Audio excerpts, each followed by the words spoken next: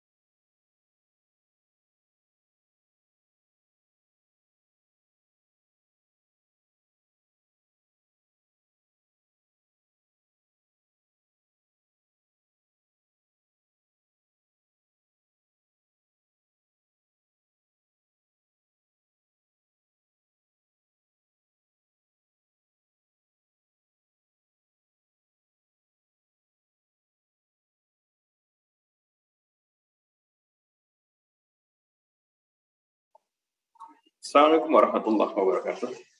Good morning to everyone. I'm very pleased on behalf of the conference organizer to welcome all of you to the workshop on chemical analysis and characterization of material and NMR and GCMS instruments organized by Research Center for Chemistry, National Research and Innovation Agency. We are very grateful for your presence at this workshop, even in this pandemic situation. As of today, we cordially invite all participants to take this opportunity and attend our workshop, which is completely free of charge. This workshop is eventually our appreciation for all participants, as knowing for about 102 abstracts had been submitted within all seven topics of interest for our later agenda on the next September 29 until 30, 2021. ISAC, ISAC 2021 Applied Chemistry Virtual Conference. As we all know, in order to provide the best data for research, analytical techniques, mainly NMR and GCMS, are used to identify organic materials, polymers, and in some case, inorganic materials. This can often serve as the first step in the materials analysis, analysis mm-hmm. process. We encourage our participants whose abstract have been submitted within the research interest of environmental, analytical, clean energy production, green process, material and catalysis, medicinal chemistry, and drug delivery system to develop our knowledge of these techniques for quality control when evaluating laboratory or even industrially manufactured material. We are very confident that this workshop will be very successful and we request your cooperation to make it memorable. We wish all of us could bring about the positively prominent outcome as the result of this workshop and could possible for them work together. Thank you for your attention and please keep healthy. Assalamualaikum warahmatullahi wabarakatuh.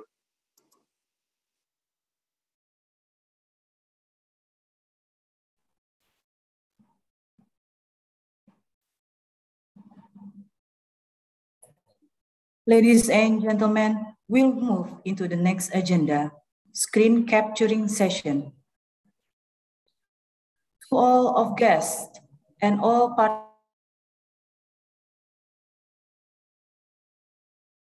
please turn on your camera and we will begin the screen.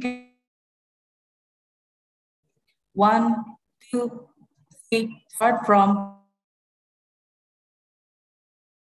page one.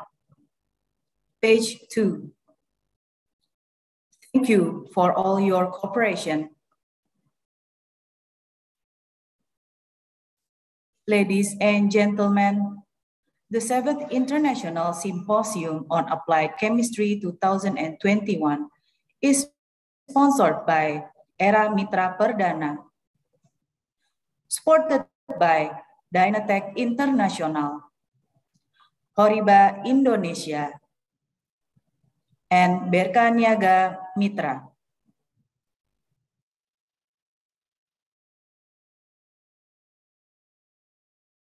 Ladies and gentlemen, I would like to invite our sponsor,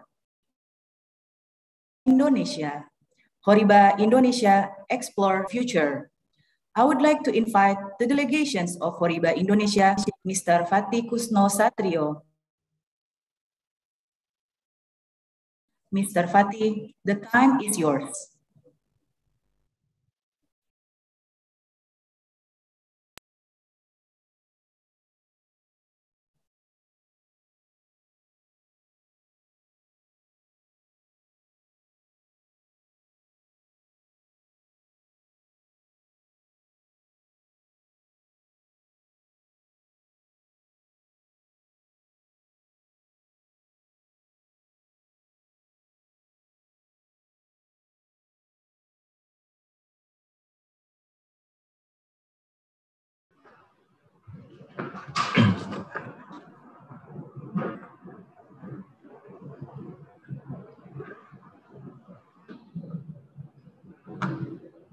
Mr. Fatih? Uh, yes, uh, wait a moment. So uh, you can or mic?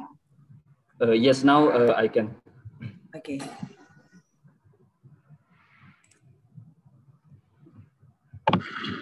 So, thank Mr. Fatih, time is yours. Yes, thank you. Uh, Bismillahirrahmanirrahim. Assalamualaikum warahmatullahi wabarakatuh.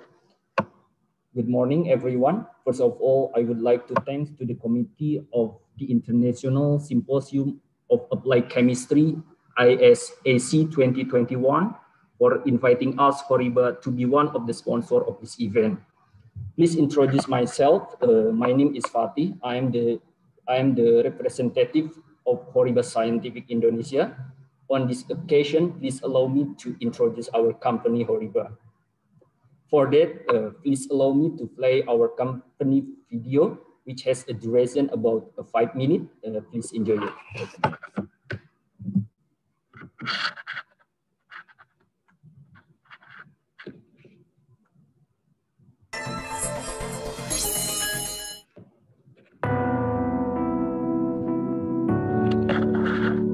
Our daily life is in the process of undergoing what amounts to an evolutionary transition. New technologies that are appearing one after another are having impacts in many fields, leading to the creation of yet newer technologies. HORIBA is tackling this evolutionary change with our measurement and analytical technologies.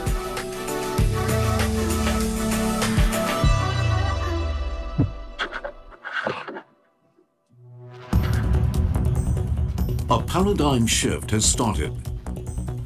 Electric vehicles will play a leading role in next generation mobility. Battery and hydrogen energy technologies are both growing rapidly. Connected technology will be used to connect vehicles and society. Environmental issues are being addressed on a global scale. The semiconductor industry is constantly generating technological innovations. Active research is being conducted in the biotechnology and healthcare fields to improve human health and life. Analytical and measurement technologies are supporting the continuing progress of our society and industries. The HORIBA Group is a comprehensive manufacturer of analytical and measuring instruments. We work in a broad range of business fields, including the automotive, process and environmental, medical, semiconductor, and scientific fields. We are expanding our possibilities even further by maximizing the synergies between our various business areas. Our product and application development is conducted across different fields to provide wide-ranging solutions that satisfy the needs of our customers in a timely fashion. Furthermore, we conduct research and development and manufacturing activities in many locations in Asia, Europe, and the Americas. We have recently started building a new center in China where we will undertake everything from developing applications and manufacturing products to providing services from a single location. HORIBA's network is always expanding. In addition to R&D, all manufacturing processes, material procurement, assembly, inspection, and shipping are consolidated in our own plants. This enables us to develop and provide high-quality products with a short lead time.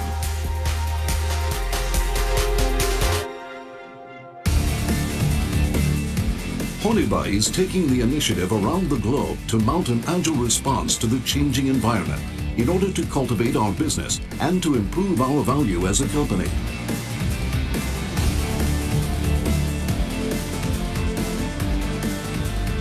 We enhanced the HORIBA Techno Service Headquarters to serve as the main service hub for the HORIBA Group.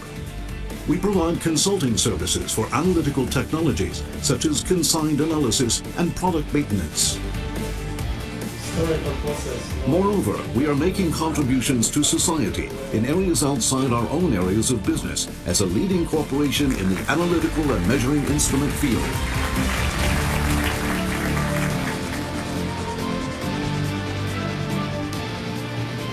Our management is aimed at matrix management, which is our proprietary global operation model to respond to market conditions and trends in various countries around the world in each of our five main business areas.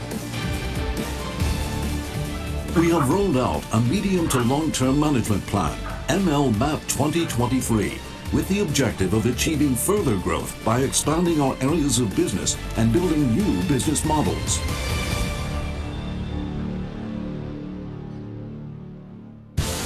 The hawk is our symbol of ML MAP. The hawk is a bird that takes aim at its targets from a viewpoint high in the sky and then swoops down to achieve these targets swiftly and precisely. Our mission is to satisfy the expectations of our customers, partners, and society through the unique products and services that are created using our highly advanced analytical and measuring technologies. We would like to convey to the world the joy of understanding through measuring and analysis. HORIBA's technologies are shining a bright light on the future that is yet to be born.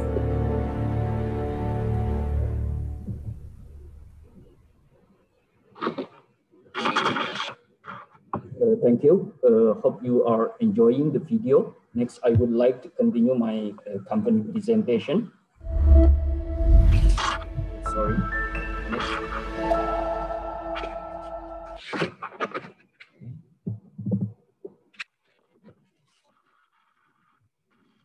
Okay. Uh, Horiba has a five uh, business segment uh, such as Horiba Automotive uh, System, Horiba Process and Environmental, Horiba Medical, Horiba Semiconductor, and Horiba Scientific. Under scientific uh, segment division, we produce a wide range of analytical instruments such as nitrogen vacancy scanning magnetometry, scanning probe microscope or SPM, atomic force microscope, AFM, scanning tunneling microscope, scanning near field optical microscope, surface plasmon resonance imaging, photoluminescent fluorescent spectroscopy, glow discharge, X-ray fluorescent inductively coupled plasma or ICP, particle size analyzer, optical spectroscopy devices, uh, and many more. Horiba is, uh, is the global leader for Raman spectroscopy. We produce many types of Raman spectroscopy with the best quality in the world, from macro Raman spectroscopy, micro Raman spectroscopy, which is a combination of Raman spectroscopy and an optical microscope. With this tool, it can analyze sample up to micro scale. Horiba also produce a nano Raman spectroscopy, which is a combination of Raman spectroscopy with an atomic force microscope or AFM or scanning probe microscope or SPM.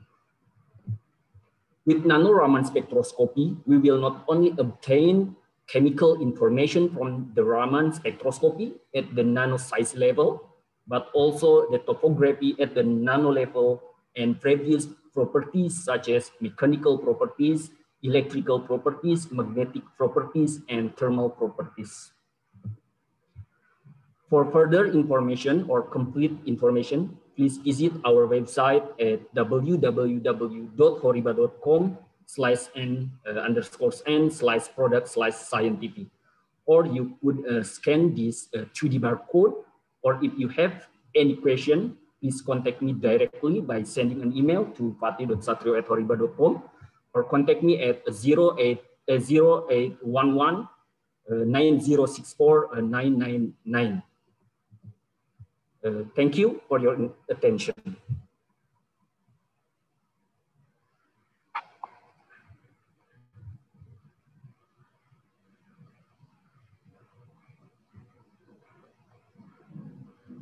Thank you very much, Mr. Rafati.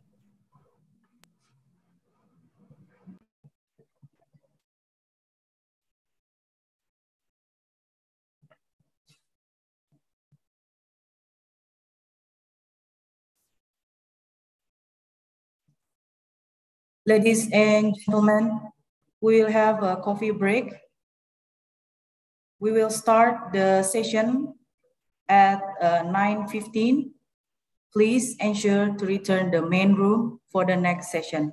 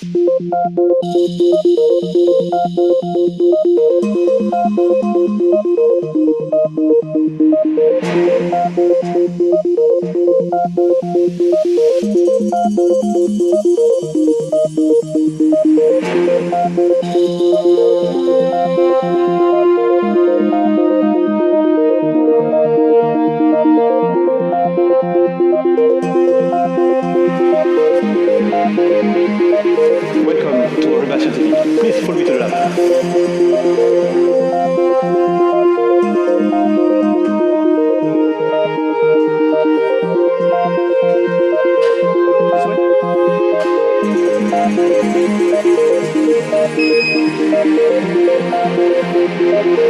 After you.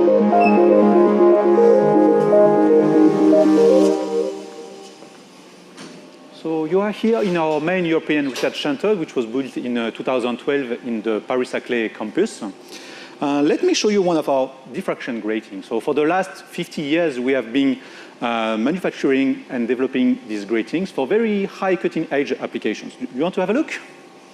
So these gratings are used in either ultra fast or high energy laser, but also space flight uh, application, uh, synchrotron, and also astronomy.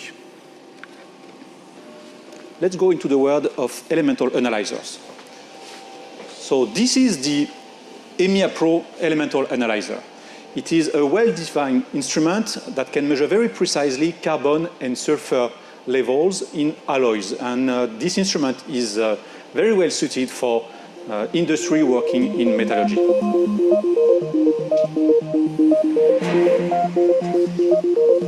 Let me introduce you to two new instruments.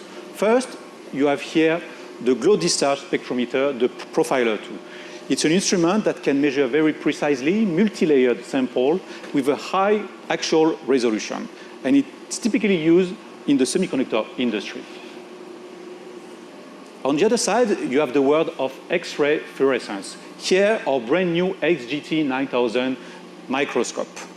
Jocelyn here uh, will show you now the inside of the beast uh, with the samples this instrument is well suited for application ranging from forensics to geology, but also to material science and environment.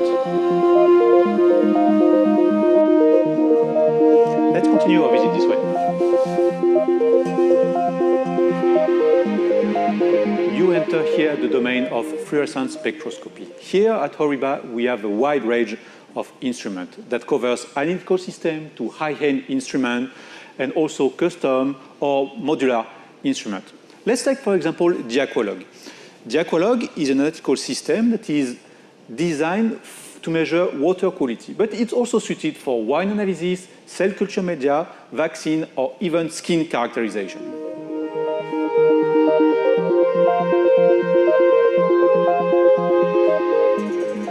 Next is our DeltaFlex modular fluorescence lifetime system. You can see here uh, the sample compartment. Please have a look. Where fluorescence is measured. Then, with the dedicated EasyTime software, you can display easily the decrease in the fluorescence of the signal. Finally, let me show you our latest baby, the Duetta. The Duetta was launched last year, and it already got many prizes from the industry. The Duetta measures simultaneously the fluorescence and the absorbance of a sample, so measurements are very fast. Why don't you give it a try? Take the sample.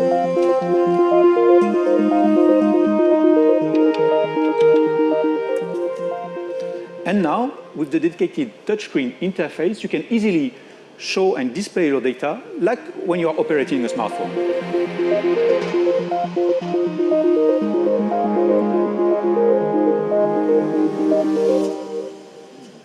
And next, we're going to move to particle size characterization.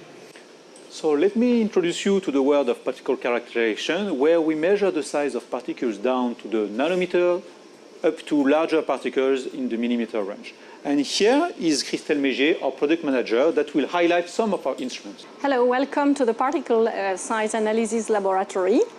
So I will introduce uh, one of our technology, the laser diffraction technology, that will uh, allow you to measure the size and the size distribution of sample from 10 nanometers up to 5 millimeters. Sample can be in powder state, as I have with the sand, or it can be a suspension or an emulsion. Um, I will show you an example of measurements we can obtain with this type of technology. So we can visualize the size distribution, but we also have with this technology some visualization tools to determine the size but also the shape of particles. Regarding nanoparticles uh, detection and measurement, there are other technologies such as nanoparticle tracking analysis, and such technologies uh, will allow you to measure the size from 10 nanometer up to 15 micron, and you can follow the size, you can count, determine the concentration, but also follow some kinetics. Okay, let's move to the next instrument.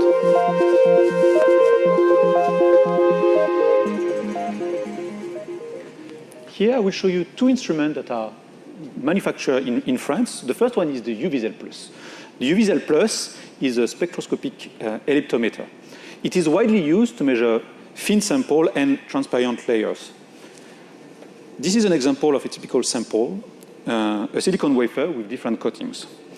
The principle is very simple. You basically just measure the change in polarization of the incoming light that is sent here, reflected on the sample, and measure on the detector here. From here, you can visualize in 3D the map of the optical constant of the material or the thickness of the different layers. The other made in France product is the OpenPlex. The OpenPlex is a surface plasmon resonance uh, imager that is used uh, to analyze um, biomolecule binding and interaction. It's a label-free uh, biomolecular instrument using microfluidics uh, technologies. Now, let's move on to see the latest technology of HORIBA.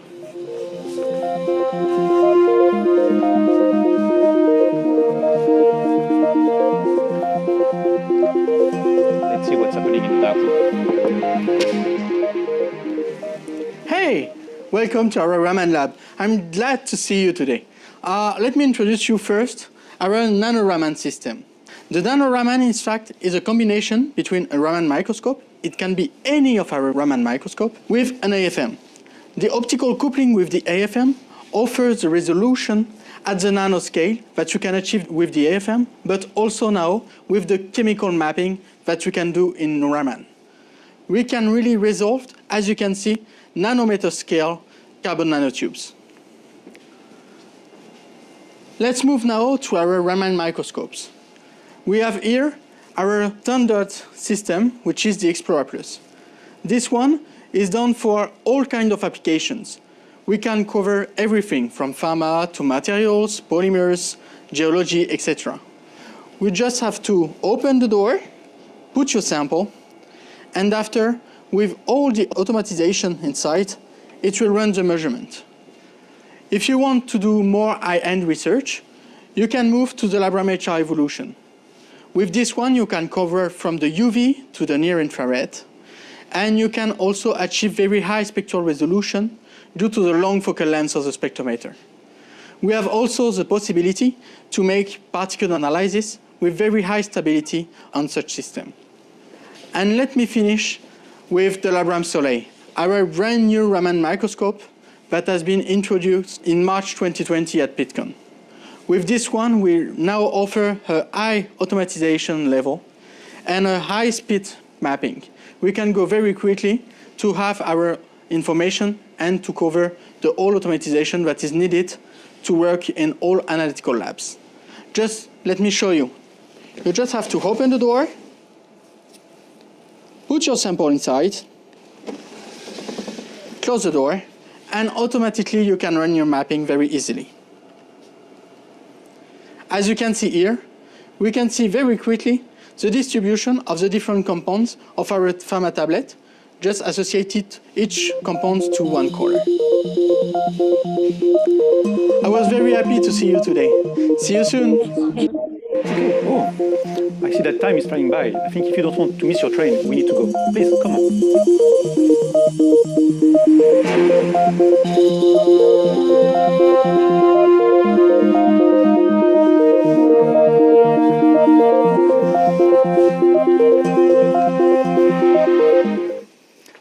I hope you enjoyed the visit. Now the team is looking forward to meeting you.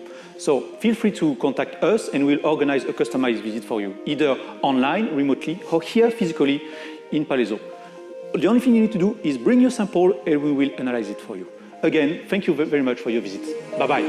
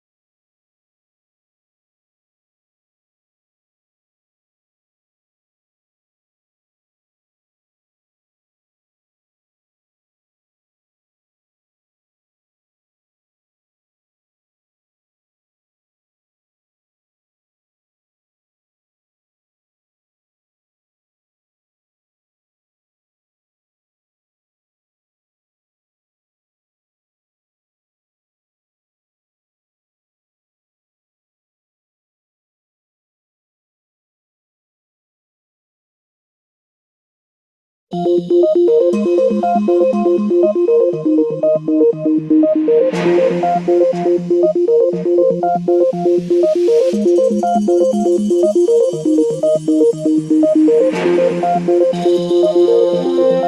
Scientific.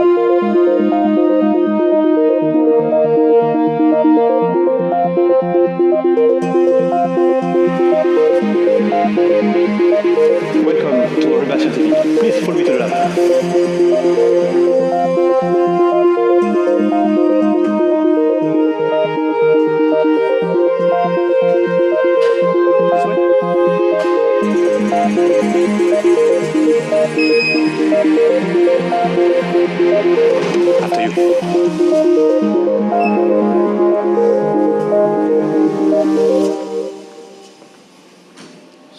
Here in our main European Research Center, which was built in uh, 2012 in the Paris-Saclay campus. Uh, let me show you one of our diffraction gratings. So for the last 50 years, we have been uh, manufacturing and developing these gratings for very high cutting-edge applications. You want to have a look? So these gratings are used in either ultra-fast or high-energy laser, but also space flight uh, application, uh, synchrotron, and also astronomy. Let's go into the world of elemental analyzers. So this is the EMIA Pro Elemental Analyzer. It is a well-defined instrument that can measure very precisely carbon and sulfur levels in alloys. And uh, this instrument is uh, very well suited for uh, industry working in metallurgy.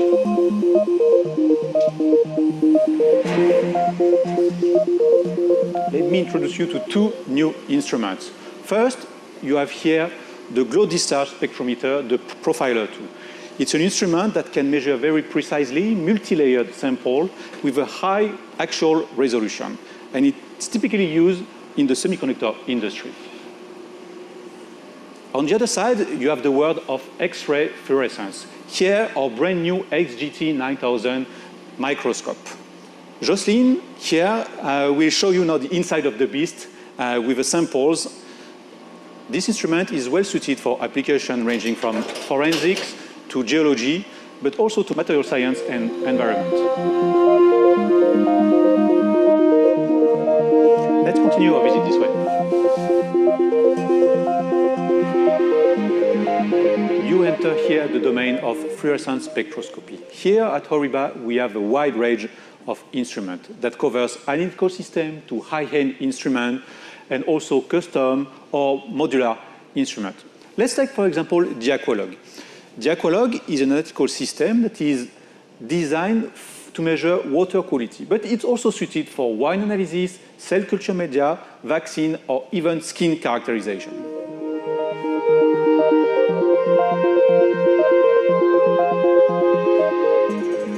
Next is our DeltaFlex modular fluorescence lifetime system.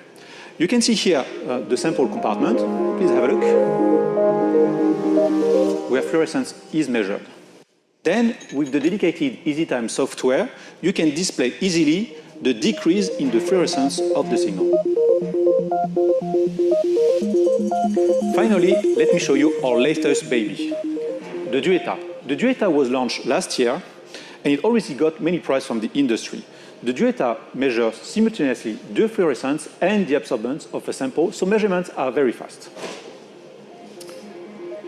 Why don't you give it a try? Take the sample.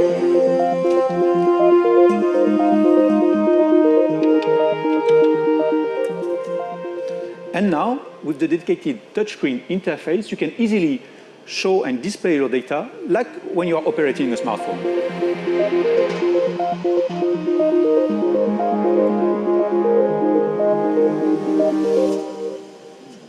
next, we're going to move to particle size characterization.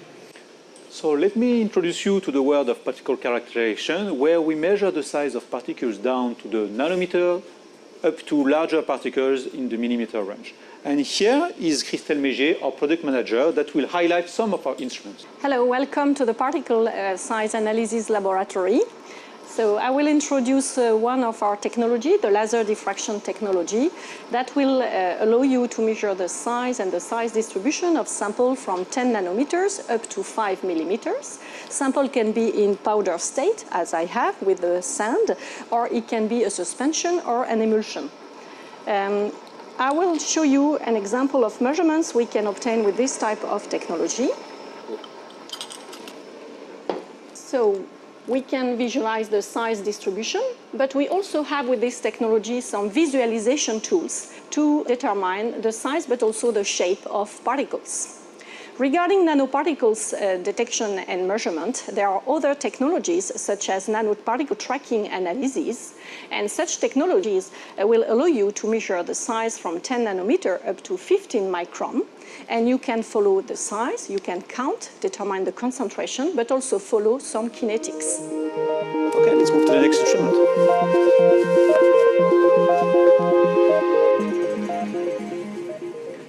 Here I will show you two instruments that are manufactured in, in France. The first one is the UVISEL Plus. The UVISEL Plus is a spectroscopic uh, ellipsometer. It is widely used to measure thin sample and transparent layers. This is an example of a typical sample, uh, a silicon wafer with different coatings. The principle is very simple. You basically just measure the change in polarization of the incoming light that is sent here, reflected on the sample, and measure on the detector here. From here, you can visualize in 3D the map of the optical constant of the material or the thickness of the different layers. The other made in France product is the OpenPlex. The OpenPlex is a surface plasmon resonance uh, imager that is used uh, to analyze um, biomolecule binding and interaction. It's a label-free uh, biomolecular instrument using microfluidics uh, technologies. Now, let's move on to see the latest technology of HORIBA.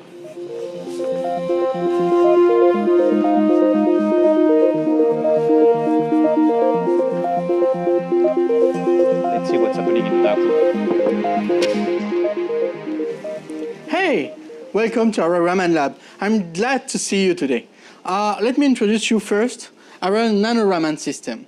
The NanoRaman, in fact, is a combination between a Raman microscope, it can be any of our Raman microscope, with an AFM. The optical coupling with the AFM offers the resolution at the nanoscale that you can achieve with the AFM, but also now with the chemical mapping that you can do in Raman. We can really resolve, as you can see, nanometer scale carbon nanotubes. Let's move now to our Raman microscopes. We have here our standard system, which is the XploRA Plus. This one is done for all kinds of applications. We can cover everything from pharma to materials, polymers, geology, etc. We just have to open the door, put your sample, and after, with all the automatization inside, it will run the measurement. If you want to do more high-end research, you can move to the LabRAM evolution. With this one, you can cover from the UV to the near infrared, and you can also achieve very high spectral resolution due to the long focal length of the spectrometer. We have also the possibility to make particle analysis with very high stability on such system. And let me finish with the LabRAM Soleil, our brand new Raman microscope that has been introduced in March 2020 at Pittcon. With this one, we now offer a high automatization level and a high speed mapping. We can go very quickly to have our information and to cover the all automatization that is needed to work in all analytical labs. Just let me show you. You just have to open the door, put your sample inside, close the door, and automatically you can run your mapping very easily. As you can see here, we can see very quickly the distribution of the different compounds of our pharma tablet, just associated each compound to one color. I was very happy to see you today. See you soon. Okay. Oh, I see that time is flying by. I think if you don't want to miss your train, we need to go. Please, come on.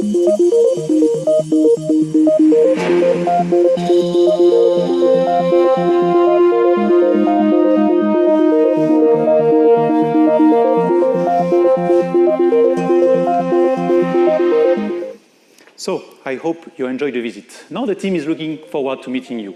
So feel free to contact us and we'll organize a customized visit for you, either online, remotely, or here physically in Palaiseau.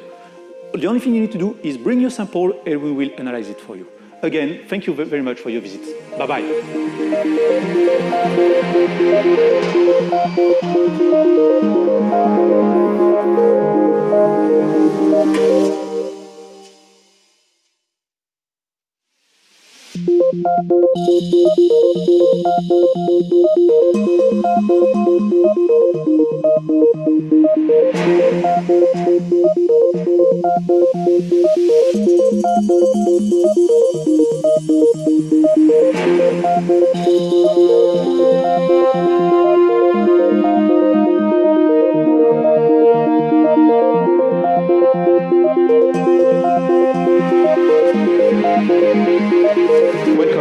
Please follow me to the lab.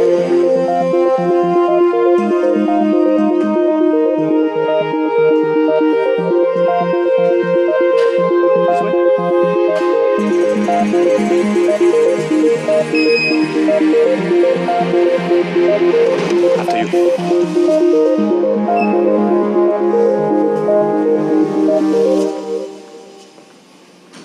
So you are here in our main European research center, which was built in uh, 2012 in the Paris-Saclay campus. Uh, let me show you one of our diffraction gratings. So for the last 50 years, we have been uh, manufacturing and developing these gratings for very high cutting-edge applications. You want to have a look? So these gratings are used in either ultra-fast or high-energy laser, but also space flight uh, application, uh, synchrotron, and also astronomy. Let's go into the world of elemental analyzers. So this is the EMIA Pro Elemental Analyzer. It is a well-defined instrument that can measure very precisely carbon and sulfur levels in alloys. And uh, this instrument is uh, very well suited for uh, industry working in metallurgy.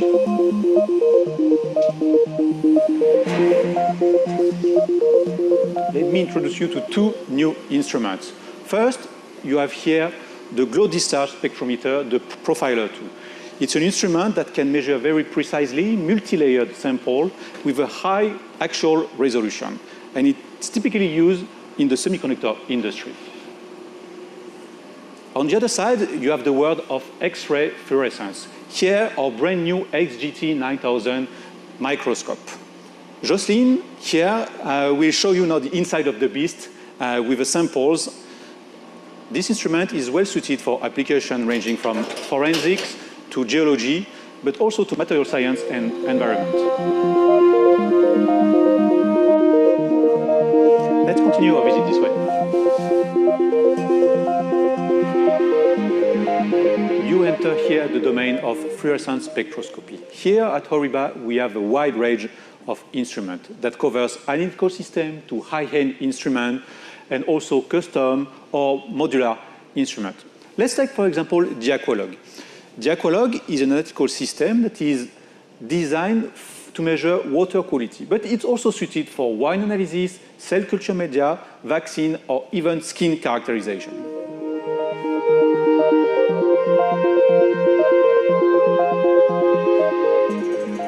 Next is our DeltaFlex modular fluorescence lifetime system. You can see here uh, the sample compartment. Please have a look. Where fluorescence is measured. Then, with the dedicated EzTime software, you can display easily the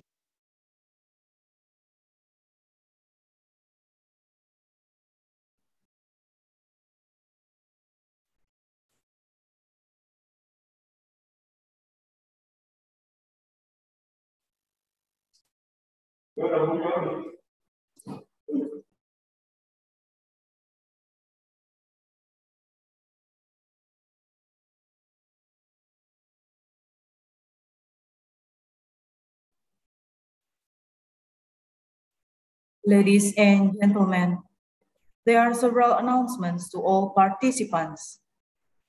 First, let's have a stable internet connection during our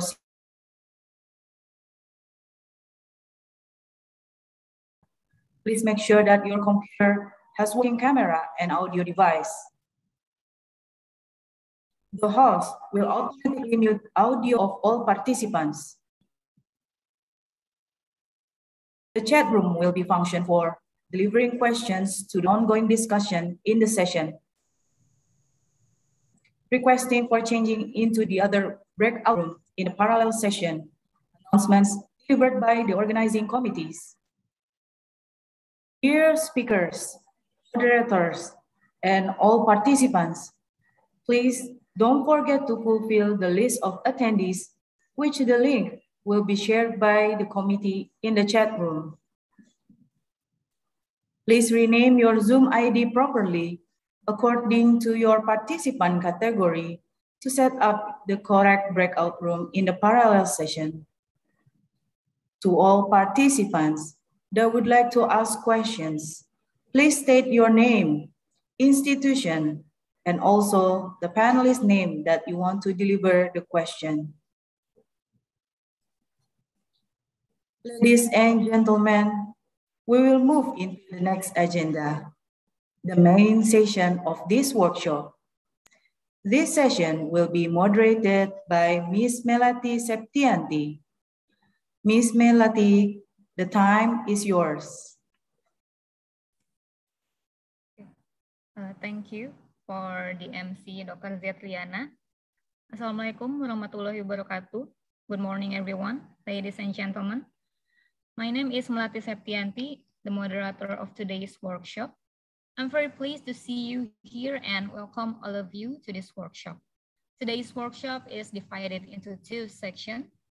First section is about analytical instrument of nuclear magnetic resonance or NMR. And the second session is about gas chromatography mass spectroscopy or GCMS. Ladies and gentlemen, our first speaker today is Dr. Sofa Fajria that will present about NMR.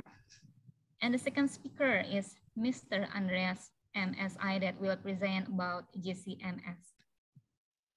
Before the presentation begin, let me inform how the presentation will be going on. First, the speaker will be invited to present the material in 30 minutes.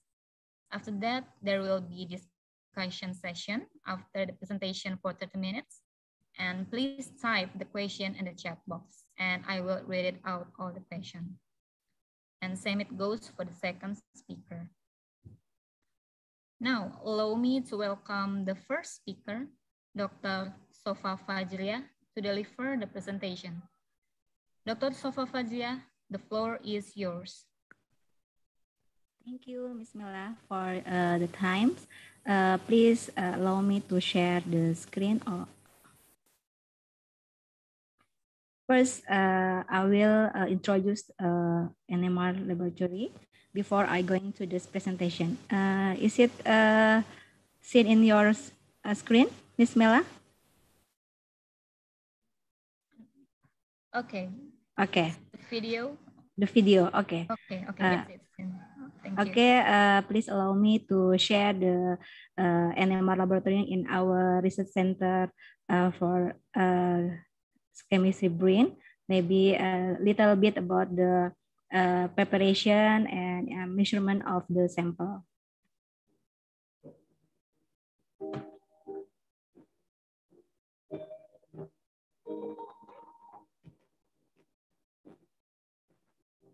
This is our lab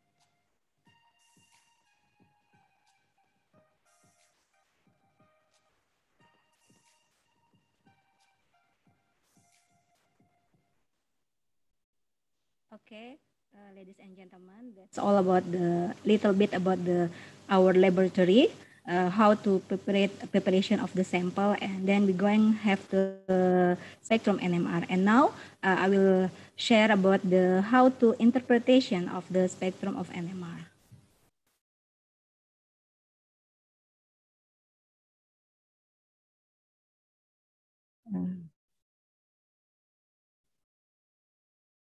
Okay, good morning, ladies and gentlemen. Please allow me to uh, present about the nuclear magnetic resonance spectroscopy. Uh, uh, we, we can call NMR uh, spectroscopy. What is the NMR? NMR, as we know, that the most powerful tool available for organic structure det determination. If you want to know the structure of the uh, sample or after you synthesize or isolate, uh, so you have to do the identify of the sample using NMR spectroscopy to know the structure of the sample itself. And uh, for NMR, we can use the variety nuclei. Uh, first is proton NMR. We can uh, one H NMR, C NMR, and we can see the uh, study of N, nitrogen, fluor, phosphor, and uh, this is the NMR spectrometer uh, itself. the sample in here, we going to the here sample tube, and then the sample will be delivered to the RF transmitter and going to the detector, and we can see the absorption of the sample, and we can see the spectrum of NMR in here in recorder. So in our laboratory, we can see this is the spectrometer of NMR. This one is magnetic field in here. 500 megahertz and a spectrometer and it in inside of the uh, probe NMR uh, you can see in here like like this. And how the nuclear spin uh, in NMR uh, in NMR nucleus with an at, at only an atomic number or an odd mass number has a nuclear spin. Uh, the spinning charged nucleus generates a magnetic field and then we can see in here, uh, the sample will be uh, like a spinning proton to get the uh, frequency of the sample. Uh, you can see in, uh, in, in inside of the NMR, we can see the bar magnet in here. Uh, and then we can, the sample we can spinning uh, spinning charge nucleus generate and magnetic field and that the magnetic field will be delivered to the spectrum NMR and how the principle of the NMR, uh, the NMR, uh, the principle is have the two energy state uh, in here, negative and uh, positive, and then we can see the the magnetic field of the spinning nuclei will align either with the external field or against the field. And then uh, a photon with the right amount of the energy can be absorbed and cause the spinning proton to flip. This one, uh, the Planck uh, rule of the NMR, uh, that the energy difference is proportional to the magnetic field strength. And uh, we can see in here, the gyromagnetic uh, is a constant for each nucleus. So uh, this is the rule of the, how, uh, why uh, NMR can uh, get the frequency uh, each nucleus. So uh, it the NMR, if all protons absorb the same amount of energy in a given magnetic field, not much information could be obtained. It means that, uh, but protons are surrounded by electrons that shield them for external field. So the shielded proton NMR, it's very uh, important that magnetic field, field strength must be increased for a shielded proton to flip at the same frequency uh, we can see in the picture that the shielded proton feels uh, uh, more uh, shielded proton is uh, give the uh, chemical shift lower than the strong uh, lower than the proton shielded from the proton uh, from the magnetic magnetic uh, field.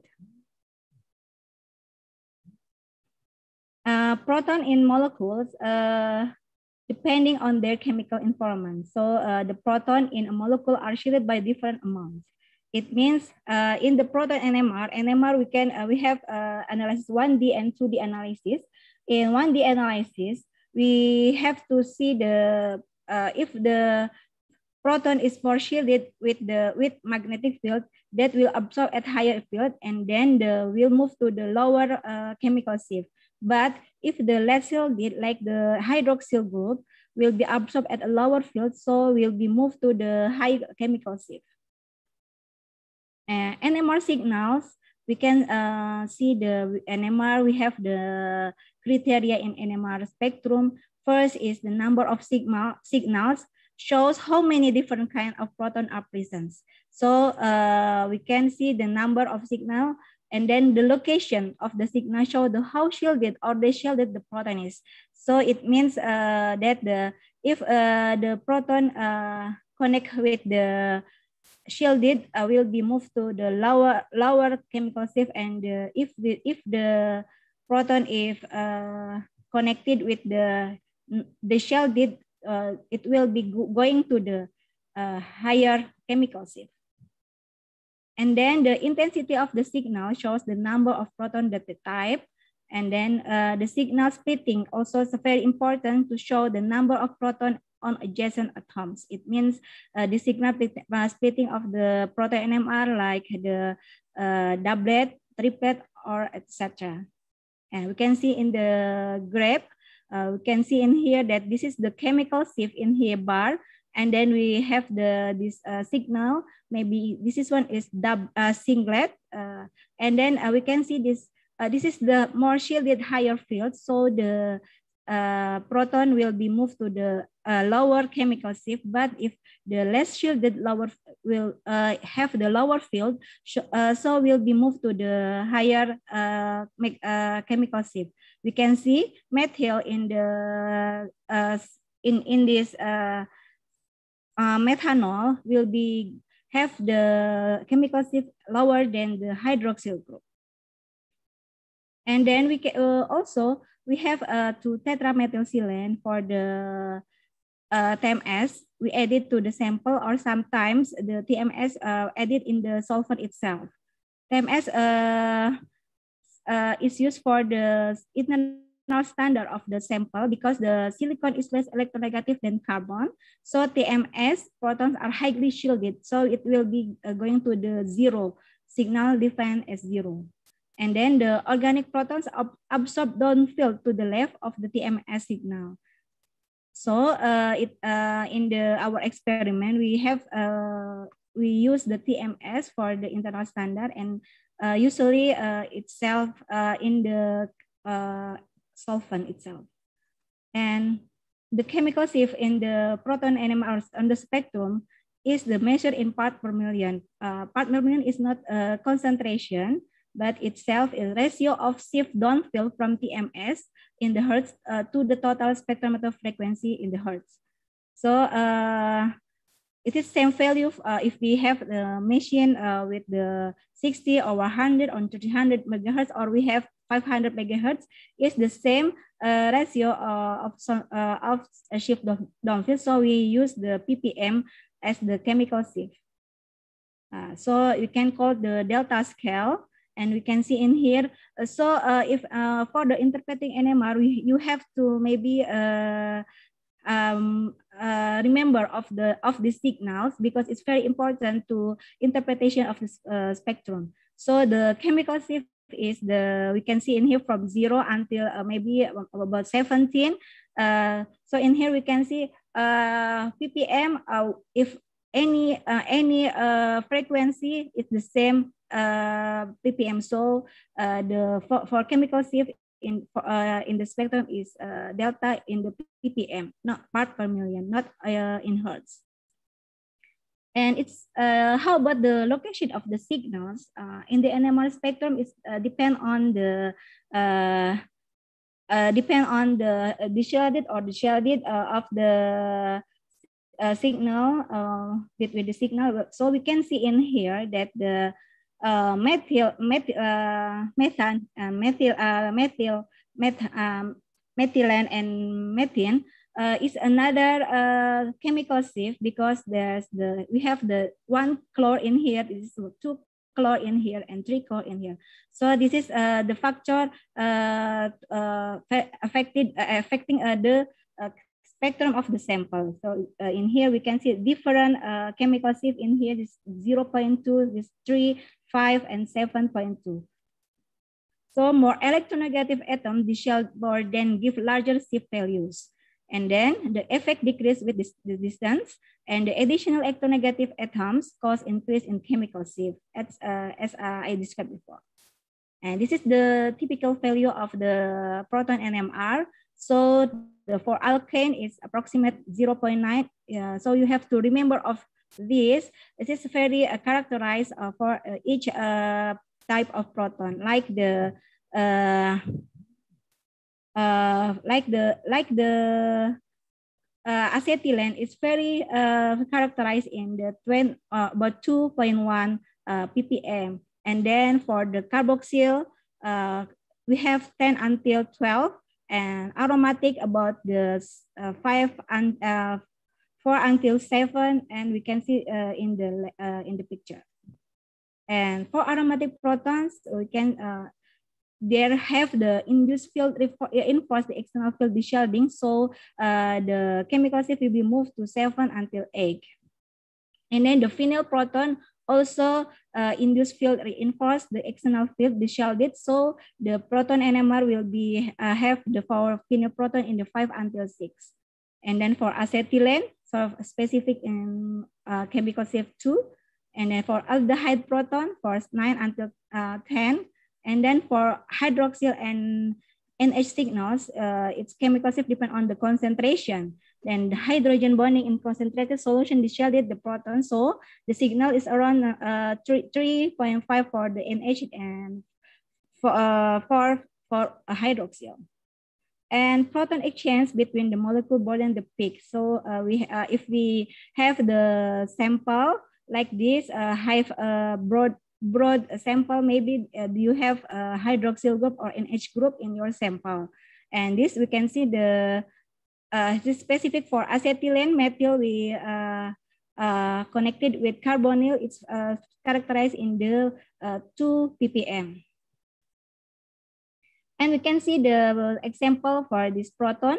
Uh, for this acetylene, uh, we can see the proton in the uh, chemical shift 2 and methylene, we can see uh, we have the, uh, the proton in the of three and a methoxy group will be uh, going to the uh, about uh, 4 ppm. So this is the equivalent hydrogen have the same chemical shift. Uh, and then this we can see they have not connected with the proton. So the signal will be singlet, singlet, singlet, singlet, like this. And also the intensity of the signal, uh, the intensity of the signal, uh, it's very, uh, it's uh, their area under each peak is proportional to the number of the protons. And then uh, we have the shown by integral trace. So it is very uh, uh, important you, uh, if you know the how many uh, protein in your sample like this. This is the nth integral spectrum in your sample, maybe like this. We have uh, geminal proton in here. So we have only one peak in here, but the integral proton will be uh, six, uh, six, and then and then the methylene uh, like this, uh, methyl methoxy in here only two space. So this is the one point uh, proportion, uh, one uh, one proportion three. Uh, so we have uh, we can see the this is about the nine uh, proton and this is only the three proton in here like this and how many hydrogens in our sample. Uh, if we have now the molecular profile is known, each integral rise can be assigned to a particular number of the hydrogen. So uh, we can see in here the uh, if you have you have the formula uh, of the formula, we can uh, uh, proportional of the integral in your sample like this. We have methyl in here only A and we have um, um methyl we uh, connected with carbonyl in chemical shift 2 and then we have uh, methylene in uh, this and we have a hydroxyl group in uh, the four. So we can see the total uh, of the integral is uh, six. And we can uh, also the spin-spin splitting is very important in the proton NMR.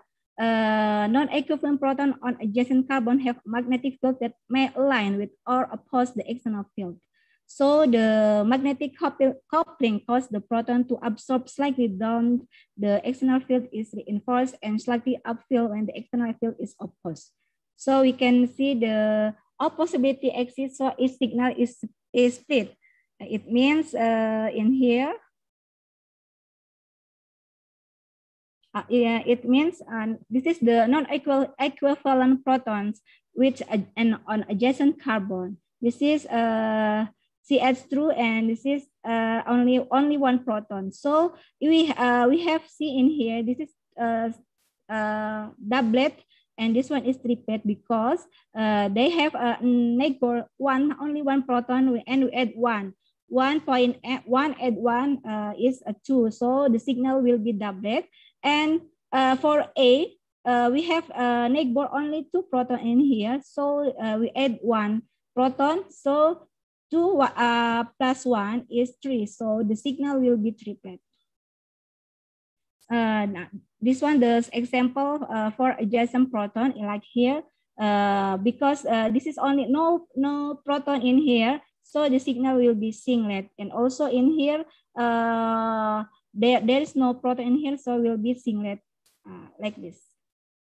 If the proton in here, we have proton in here, where the signal will be doublet and how the adjacent proton uh, we have uh, uh, uh, we have I have uh, explained before that this one uh, two uh, pro, to methylene connected adjacent to the only one proton so the the signal is uh, and for for this for each uh, for A uh, the proton only uh, have uh, two two proton in the neighbor so the signal is triplet this is the rule you have to remember. So we, if we have uh, only one uh, peaks, so the signal will be only singlet. Uh, if you have only uh, zero, if, if we, so we have zero neighbor in the uh, in the proton NMR, so the signal is uh, only singlet. And if we neighbor one proton in our sam uh, sample will be doublet. Uh, and then we have uh, two will be triplet, three will be quartet, four will be uh, quintet uh, like this. So you have to remember of the, the n, n plus one rule of the proton NMR uh, in your spectrum. How the range of magnetic coupling? Uh, so the range of magnetic coupling is equivalent proton do not split each other. It means proton bonded to the same carbon will be split uh, each other only if they are equivalent. So uh, the proton on adjacent uh, splitting were added pattern uh, group like this. So we, I have explained before, if we have to for methylene, if two they have two proton adjacent to the carbon, so the signal will be triplet. And we have in here that the uh, proton only connected three pro proton in here, so the signal will be quartet. And how about the aromatic? is very uh, complex. Uh, have uh, this is the sample will be uh, in here because there is many correlation in here, in here, and here. So the proton in uh, for the aromatic will be uh, for uh, at uh, for this sample. And uh, for another example for isopropyl group in here we can see that there, there is the proton equivalent. So only uh pick uh pick uh only uh, only the uh, the methyl game the proton only doublet in here, but the integral will be six because uh there's have uh six uh, proton in here. And then for the C, there's a three uh, plus three and plus one. Uh, and then we can see the sex set it, uh, in here. And then for the A, there is no proton in here, so the signal will be signet. Uh, the, and then specific for acetylene will be uh, uh, shown in the uh, at the chemical shift 2 ppm. And uh, how about the coupling constant for the NMR? The distance between peak of multiplet uh, measured in hertz and not, not depending on strength of external field and multiplet with the same coupling constant. we can see for the aromatic, uh, we can see uh, for the cis proton, uh, we have uh, constanta coupling about uh, 10 hertz. And uh, if you have trans, uh, you have constanta coupling about 15 and geminal for 2 hertz. And for ortho, about the 8 hertz and meta 2 hertz and allylic is 6 hertz. So you have to remember of this coupling constant because very important to know the if how the sample uh, the cis trans geminal or ortho meta uh, position. This is very complex splitting of the proton NMR.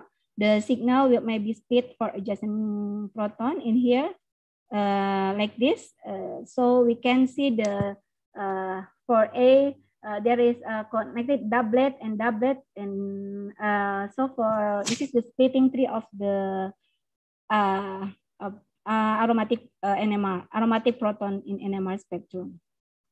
Uh, for the example, for styrene in here, we can see the uh, this is uh, non-equivalent proton. So uh, there is um, uh, in this proton have the splitting uh, each each have the uh, splitting like this. For uh, for this uh, three is have doublet and doublet and C doublet and doublet also for B doublet and doublet. You can see from in the picture. This is no stereochemical non-equivalent in here.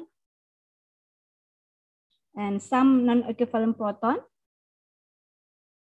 Uh, this one, uh, how the time dependence uh, of the sample. Okay, uh, we can see uh, hydroxyl proton. This is uh, the sample of the ethanol. we can see in here the signal of the sample. Uh, so if we have the sample, ultra pure sample of ethanol shows splitting. So ethanol with a small amount of acidic or basic impurities will not show splitting. Like this. And how about the uh, amino protons? This moderate rate of exchange. Sometimes uh, uh, if the sample using the methanol uh, deuterium, uh, there is uh, no uh, no uh, NH proton in your sample, but maybe we can see the 2D NMR. So this one is broad spectrum for NH2, uh, and this one for CH2 and CH, uh, CH2 and CH3. And how identifying the um, hydroxyl NH peaks, the chemical shift will depend on concentration and solvent. And to verify that a particle peak is due to hydroxyl or NH, shake the sample with D2O. And then uh, the deuterium will exchange with the hydroxyl or NH protons. Uh, on a second NMR spectrum, the peak will be absent or much less intense. So we can see uh, that's all about the proton NMR. We're going to the carbon NMR. Uh, if uh, 12C has no magnetic spin, only uh, odds uh, 13C has a magnetic spin, but it's only 1% of the carbon in sample. So, uh, the, uh, so if you have sample only one milligram, the proton NMR will be uh, one minute we can uh, have the spectrum, but for the carbon 13, maybe more than we have more time, maybe about the 30 time, 30 uh, hours for the for measuring the carbon. So uh, you need more sample to exper experiment for carbon 13. And the gyromagnetic ratio of C is one, one fourth of that of uh, proton and the signal are weak. So sometimes we're getting lost in noise. So uh, 100 of spectra are taken on average. Uh, this is the FTNMR, uh, how the uh, chemical shift uh, of the proton uh, you can uh, we have uh, explained before for the carbon hydroxyl hydroxyl group in the uh, as for the hydro, hydroxyl for in the in the ester group, usually in the tail until 12, and then with, uh, for the halogen, we can see 3 until 4 ppm.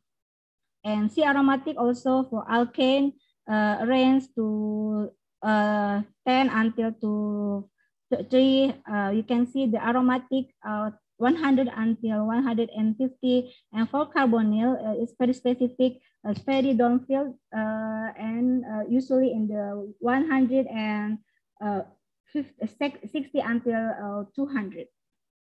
And this is the combined proton and carbon uh, for the sample. Uh, we can see in here, uh, this is the impurity, uh, chloroform, uh, deuterium, and this is the impurity. We can see the aldehyde will be moved to the 9.4 ppm. And then how about the carbon? We can see carbon, aldehyde carbon in 100.8G. And this is the solvent of CDCl3, use CDCl3 solvent and then this is uh, the proton aromatic uh, in here. So this is the carbon of the uh, aromatic. The, how the difference in carbon techniques. So the difference uh, of the carbon techniques is the peaks are not proportional to number of the carbon. So the carbon atom with more hydrogen absorb more strongly if the carbon at, uh, atom with more hydrogen absorb more strongly, so the signal will be higher than others, like this. Uh,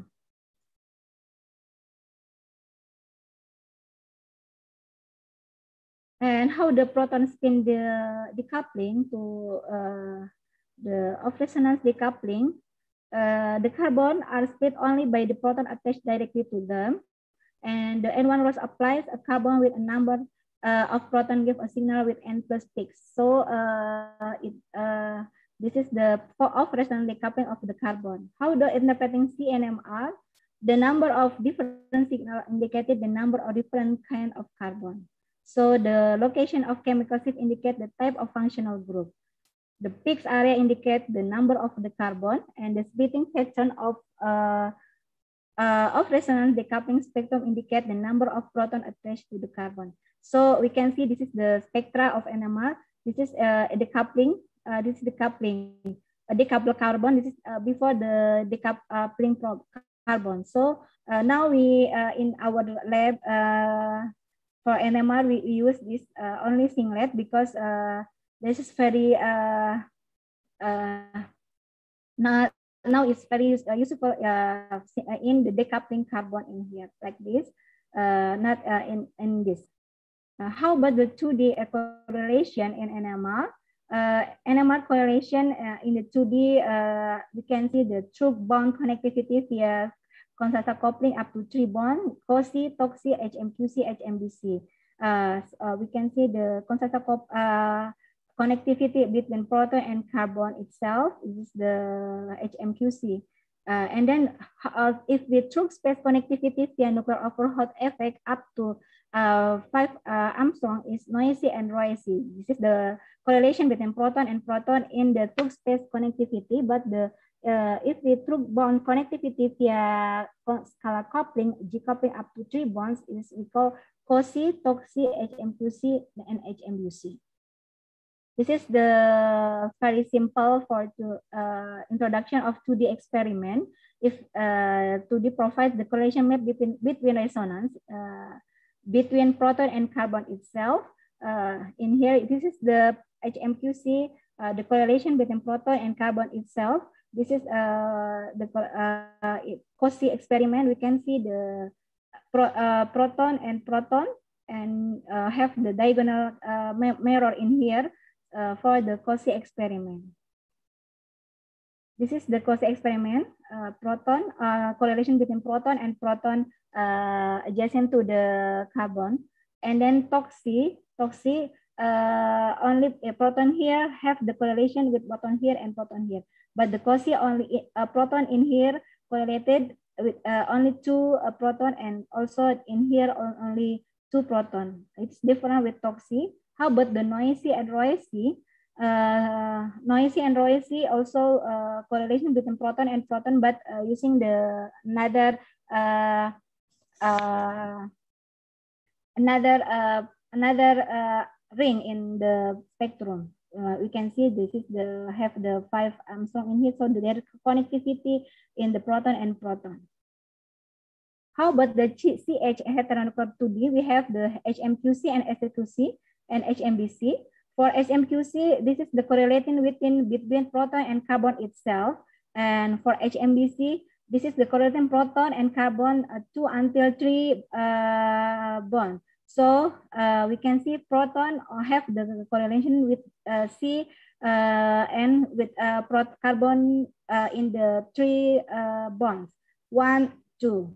And also in the proton in here have the correlated with the carbon, uh, the neighbor proton two and three. Uh, we can uh, use the one, two, three, one, one, two, three, like this. we use the the the uh, coupling of the HMBC. Uh, how the carbon assignment strategy? Uh, we can see the strategy for HMQC as HMBC in here. So uh, if we have the uh, signal in one, so this is C for one, only directly proton and carbon itself. So this is the chemical C for C1, and this is for chemical C for C3. And how about the HMBC? HMBC is correlating between two until three bonds. So we can see in the one, one have the correlating with two and three uh, in here. So there is signal in here and signal in here. Uh, also for C, uh, three, C3 have the signal in two and, and one like this. Uh, I have the uh, example for the sample analysis for proton NMR for uh, for ident uh, identify uh, the NMR spectrum. Uh, usually we have uh, we have uh, another data for the for for interpreting the data of the sample. So we have usually first we have the UV phase uh, spectrum spectrum. We can see the translation electronic of the sample, and then uh, we have to uh, have the FTIR spectrum to know the uh, the functional group of the sample. Maybe we can see in here, we have the hydroxyl group uh, in our sample, and we have uh, aliphatic, and we have the anaromatics, and uh, we have the ethyl uh, ether in our, our sample. So besides, we have to know the uh, molecular weight of the sample. For this, for, for this example, we have uh, molecular of the sample is uh, in the positive ion. So uh, the MPZ of the sample is 168.3 uh, uh, 68, point 3 and 3.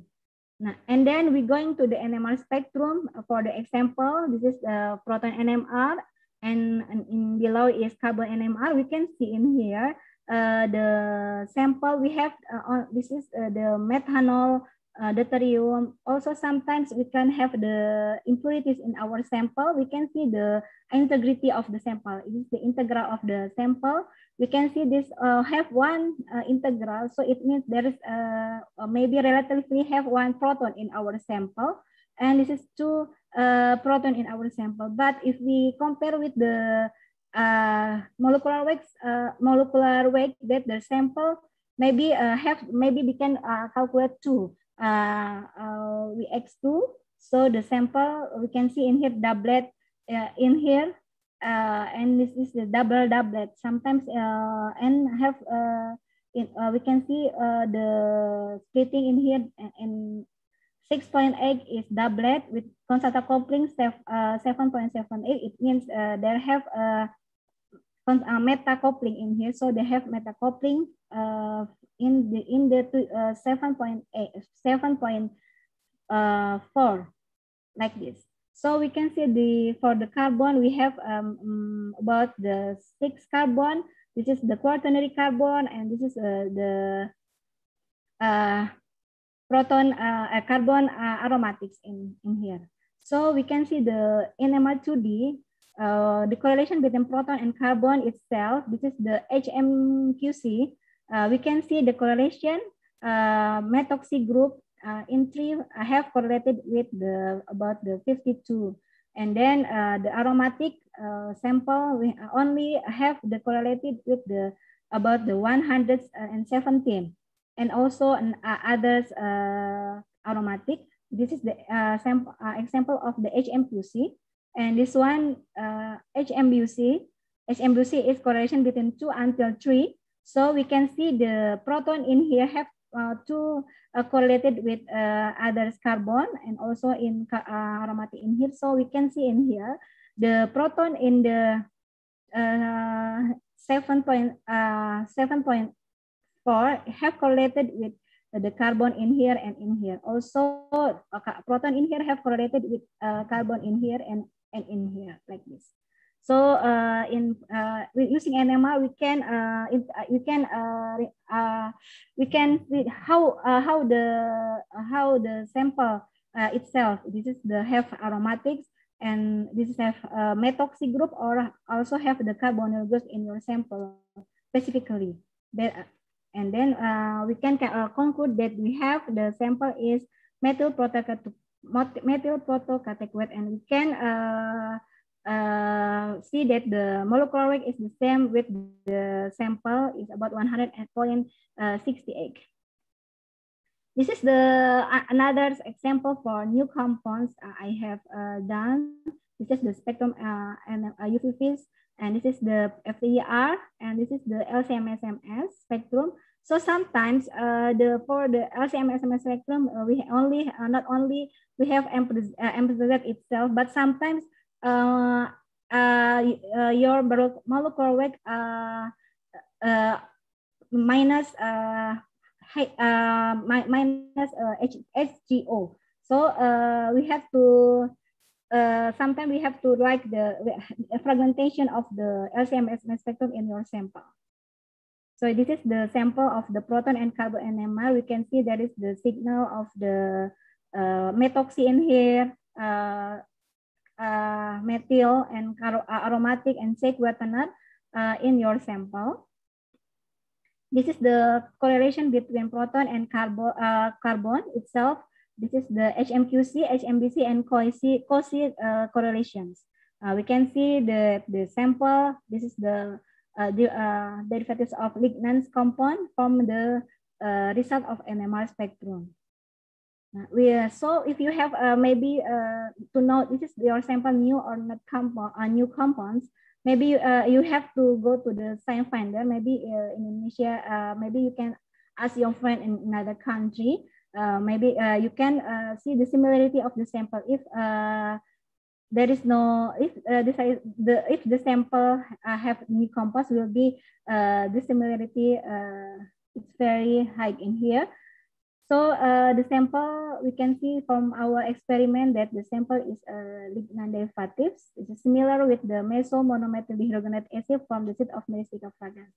This, this sample is isolated from Myristica uh, fatua from uh, the leaf.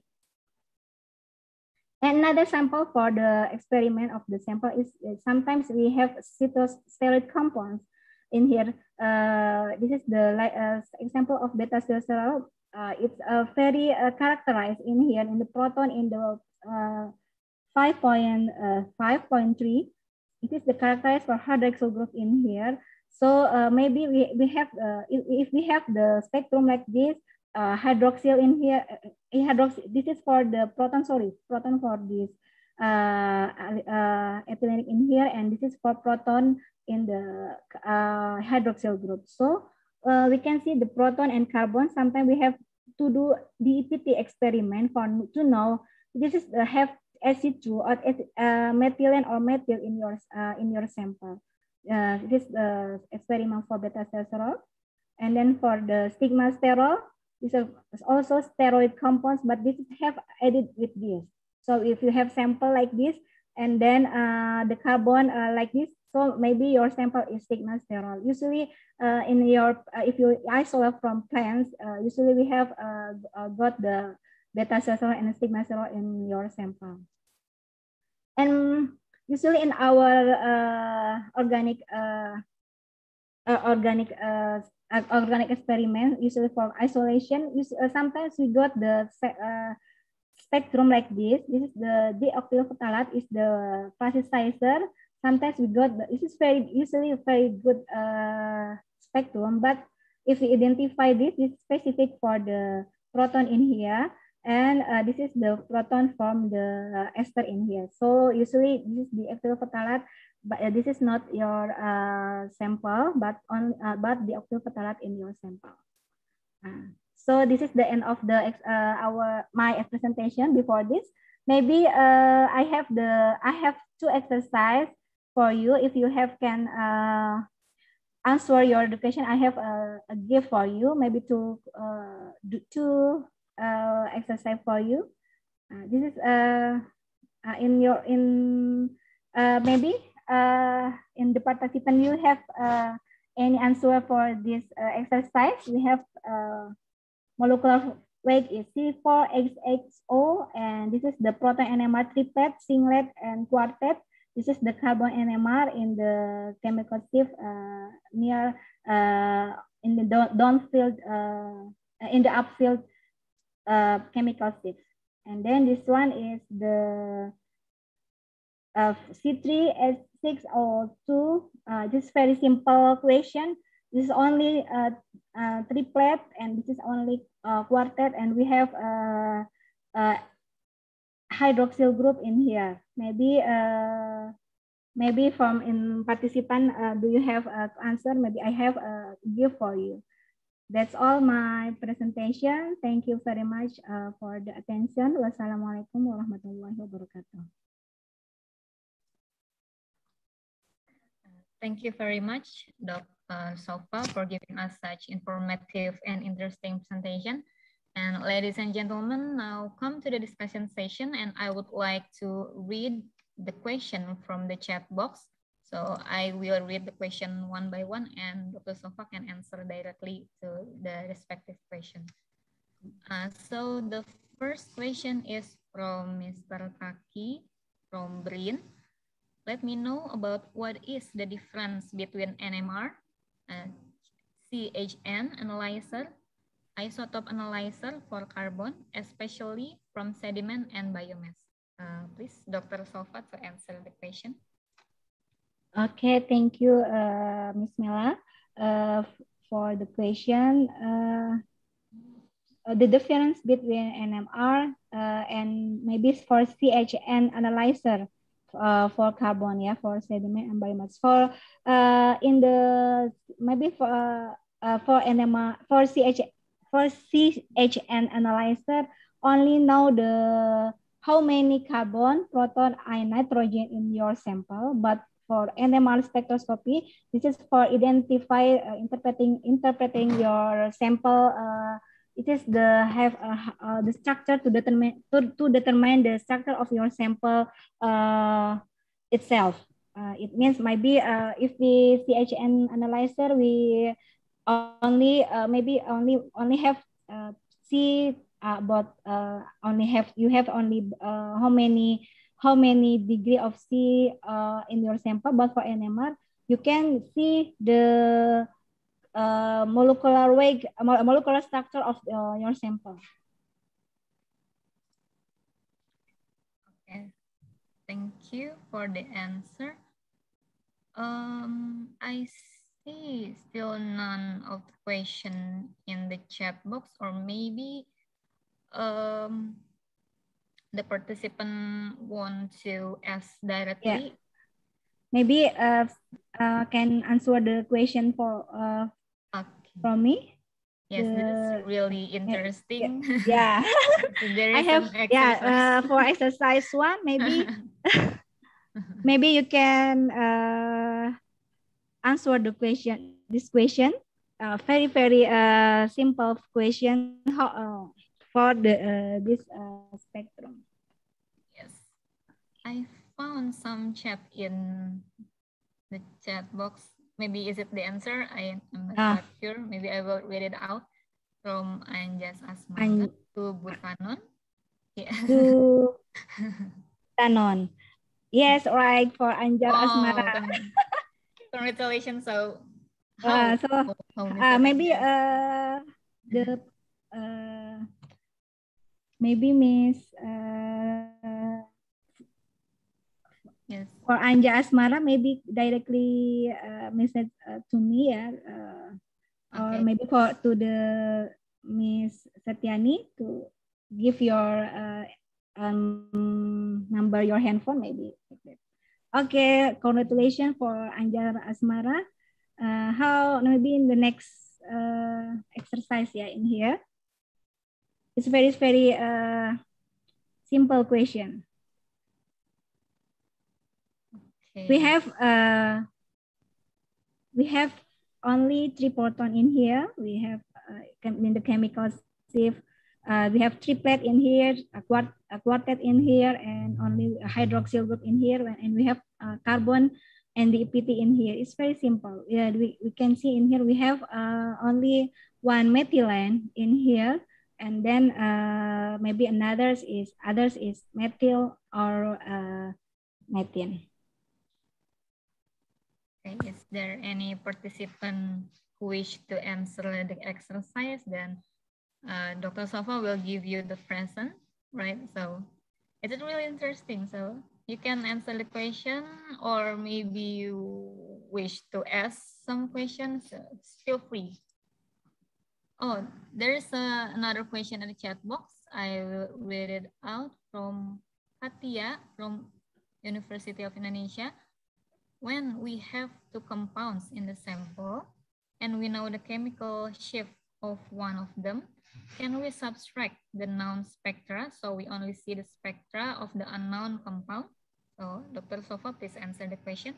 Uh, okay, thank you, Ms. Mela, for the question, Ms. Katia.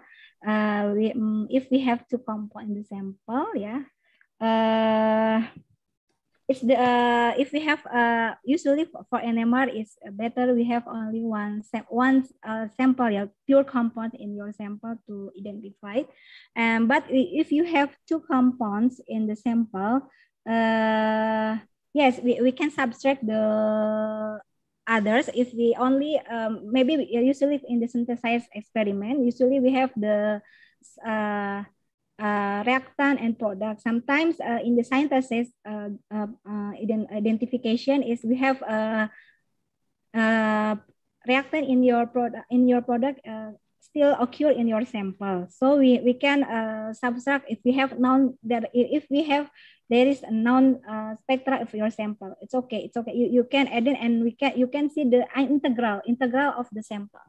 Uh, we can uh, if uh, we can use the integral the proton NMR, uh, and then we can see the uh, maybe purity of the uh, qualitatively of your sample in your uh, in the proton NMR like this, like like that. Maybe we can, uh, if you if you're not clear, maybe you can uh, directly uh, message to me or email to me. Thank you.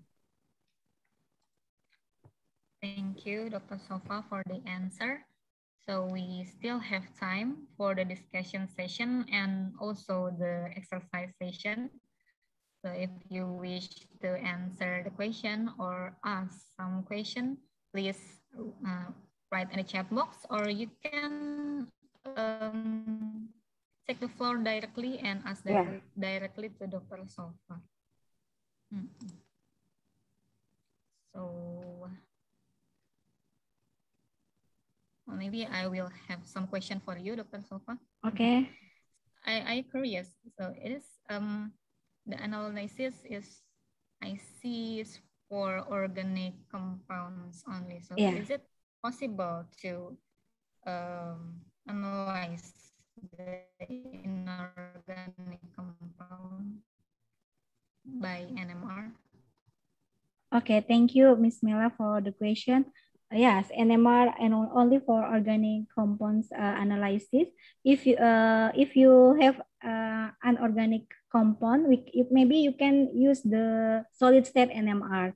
Uh, NMR, uh, there is uh, maybe sometimes we can see the anorganic compound, but for NMR, in here only for organic identification, organic compounds identification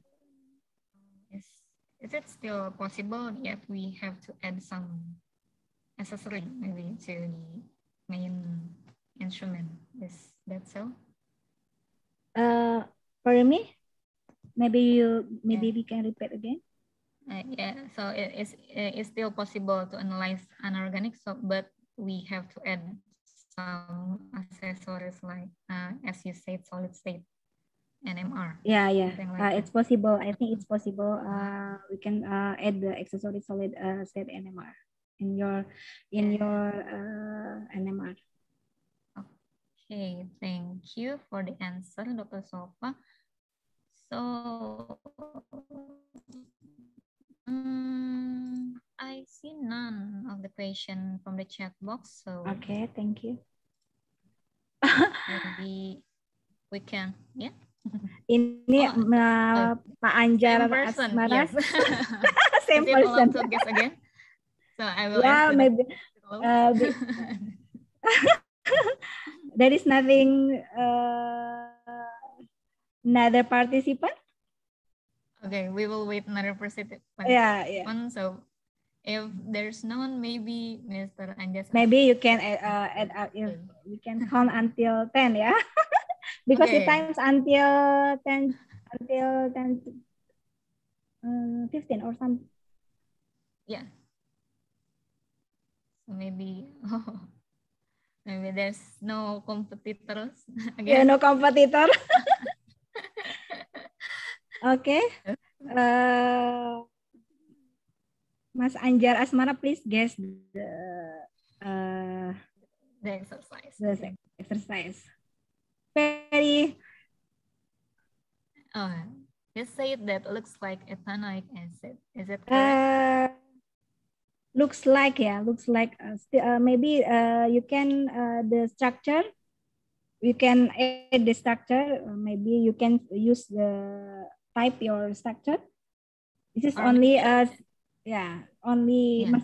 uh, still um, near near the answer it's still not still. Yeah, yeah, correct, right? Yeah. oh, or maybe Mr. Anjas Asmara wish to take the floor and explain. Oh, there is another another guest. another guest.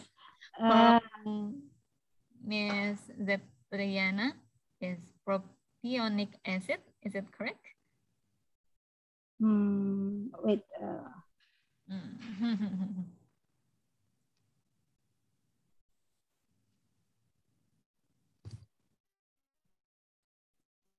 mm, propion. Yes, right. There, that's it. Propionic acid, right? yes, Miss uh, Miss Detriana, oh, congratulations okay. for you. Congratulations. Yeah, so the first winner yeah. is Mr. Anjas Asmara okay. and the second is Miss Zetriana. Okay. okay. Maybe uh, okay, thank you. Okay, thank you. okay, I will stop share the presentation. Thank you very much, uh, Ms. Mela. Yes, thank you very much, uh, Dr. Sofa, for the uh, interesting presentation and also fruitful discussion and and really interesting exercise session. So thank you. yeah.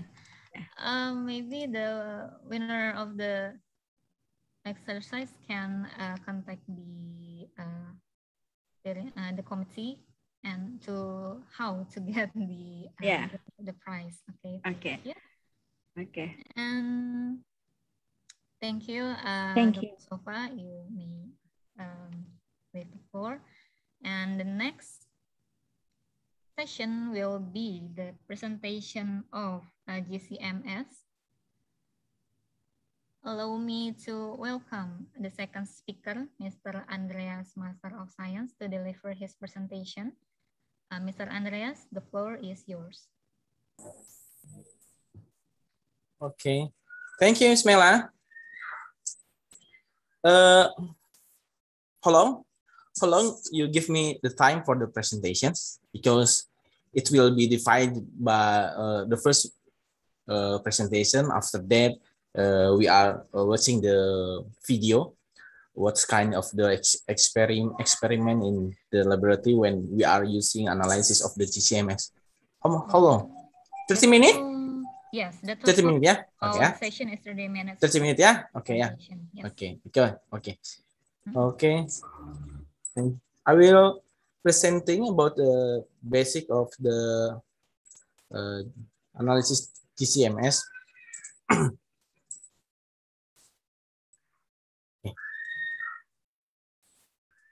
okay. Okay, ladies and gentlemen, this is the basic of GC uh, gas chromatography of mass spectrometry or GCMS. Uh, this is just only short uh, short uh, presentation about uh, GCMS analysis. we know uh, the, the, GCMS is the instrument which is uh, a lot of thing will be analysis using the GCMS. For example, the organic sample or something. Uh, when we are when we see this is the basic block diagram of the instrument of the GCMS. The first, this is the carrier gas. After that, this is the the the green is the injector, then the column of chromatography in the oven, and then a detector. Yeah. Uh, basic of the sample when we are analysis using GCMS, the sample is must be volatile, must volatile. Yeah, must volatile or must be volatile. Yeah. If our sample is not volatile, we must change the our sample to be to the derivative of the sample. For example, we can use the sample uh, which is non-volatile, and then we are react with the methanol in the acidic or basic, then then the process is we call the methylation.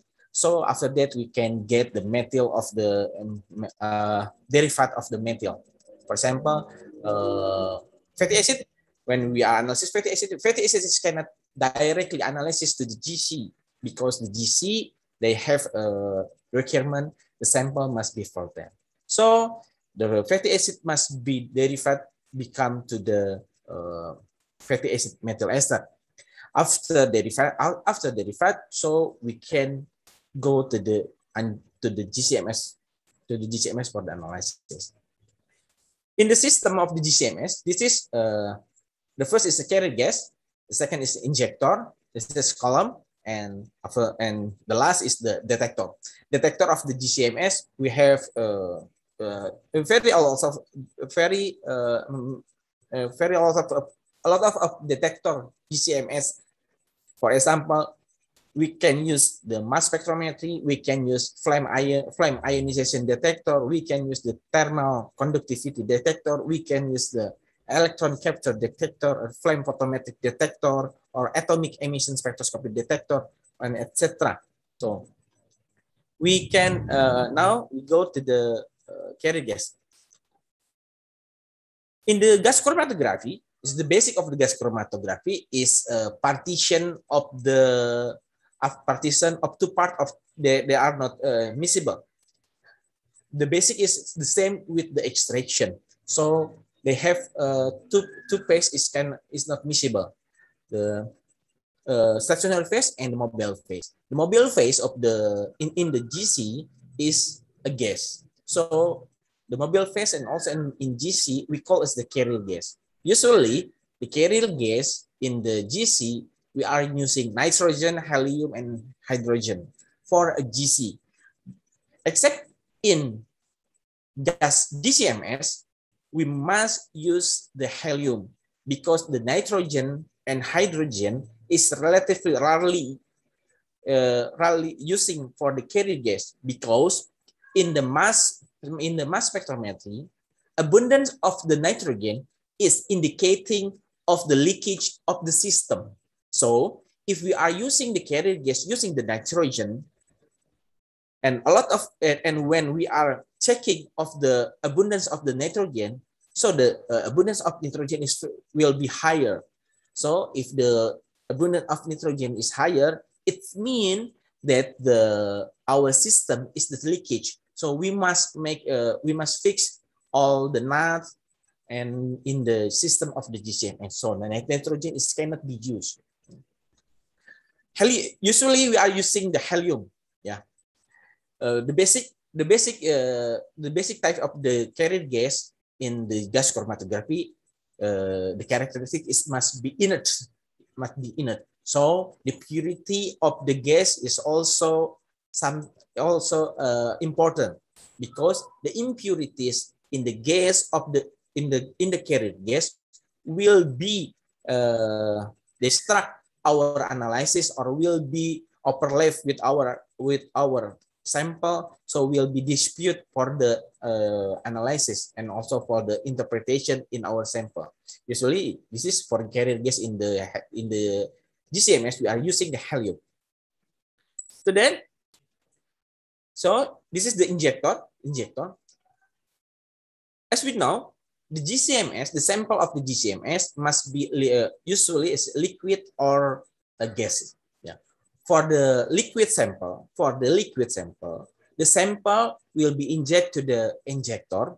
It means the volume of the sample is only one or two milliliter. Eh, one or two mil, one or two microliter.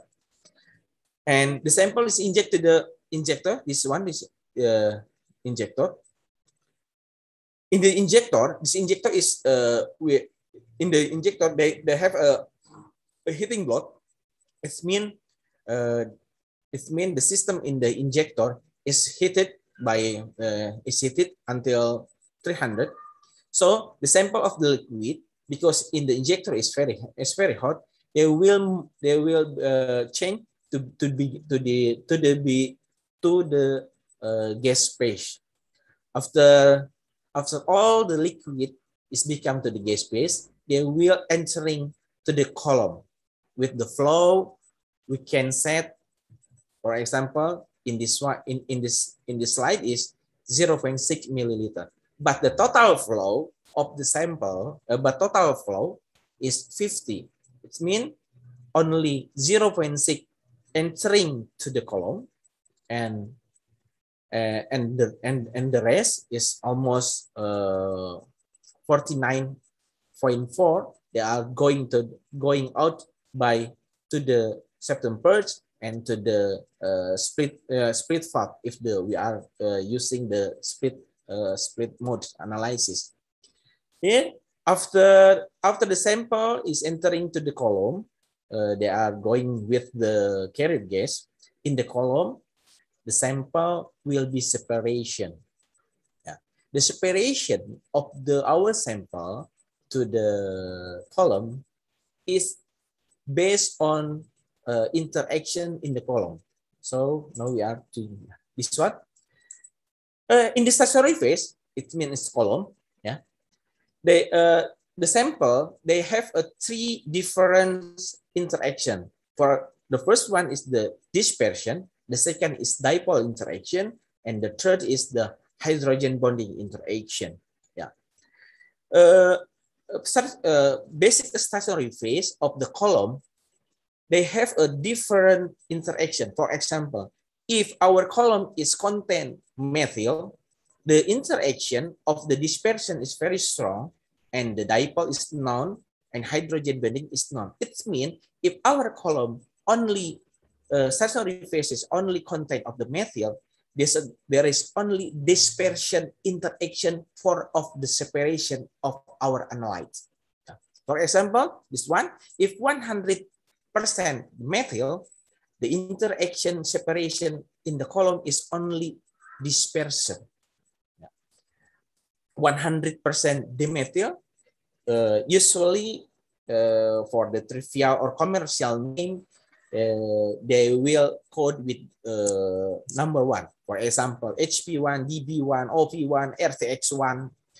Uh, the code the code of one is con is mean 100% dimethyl.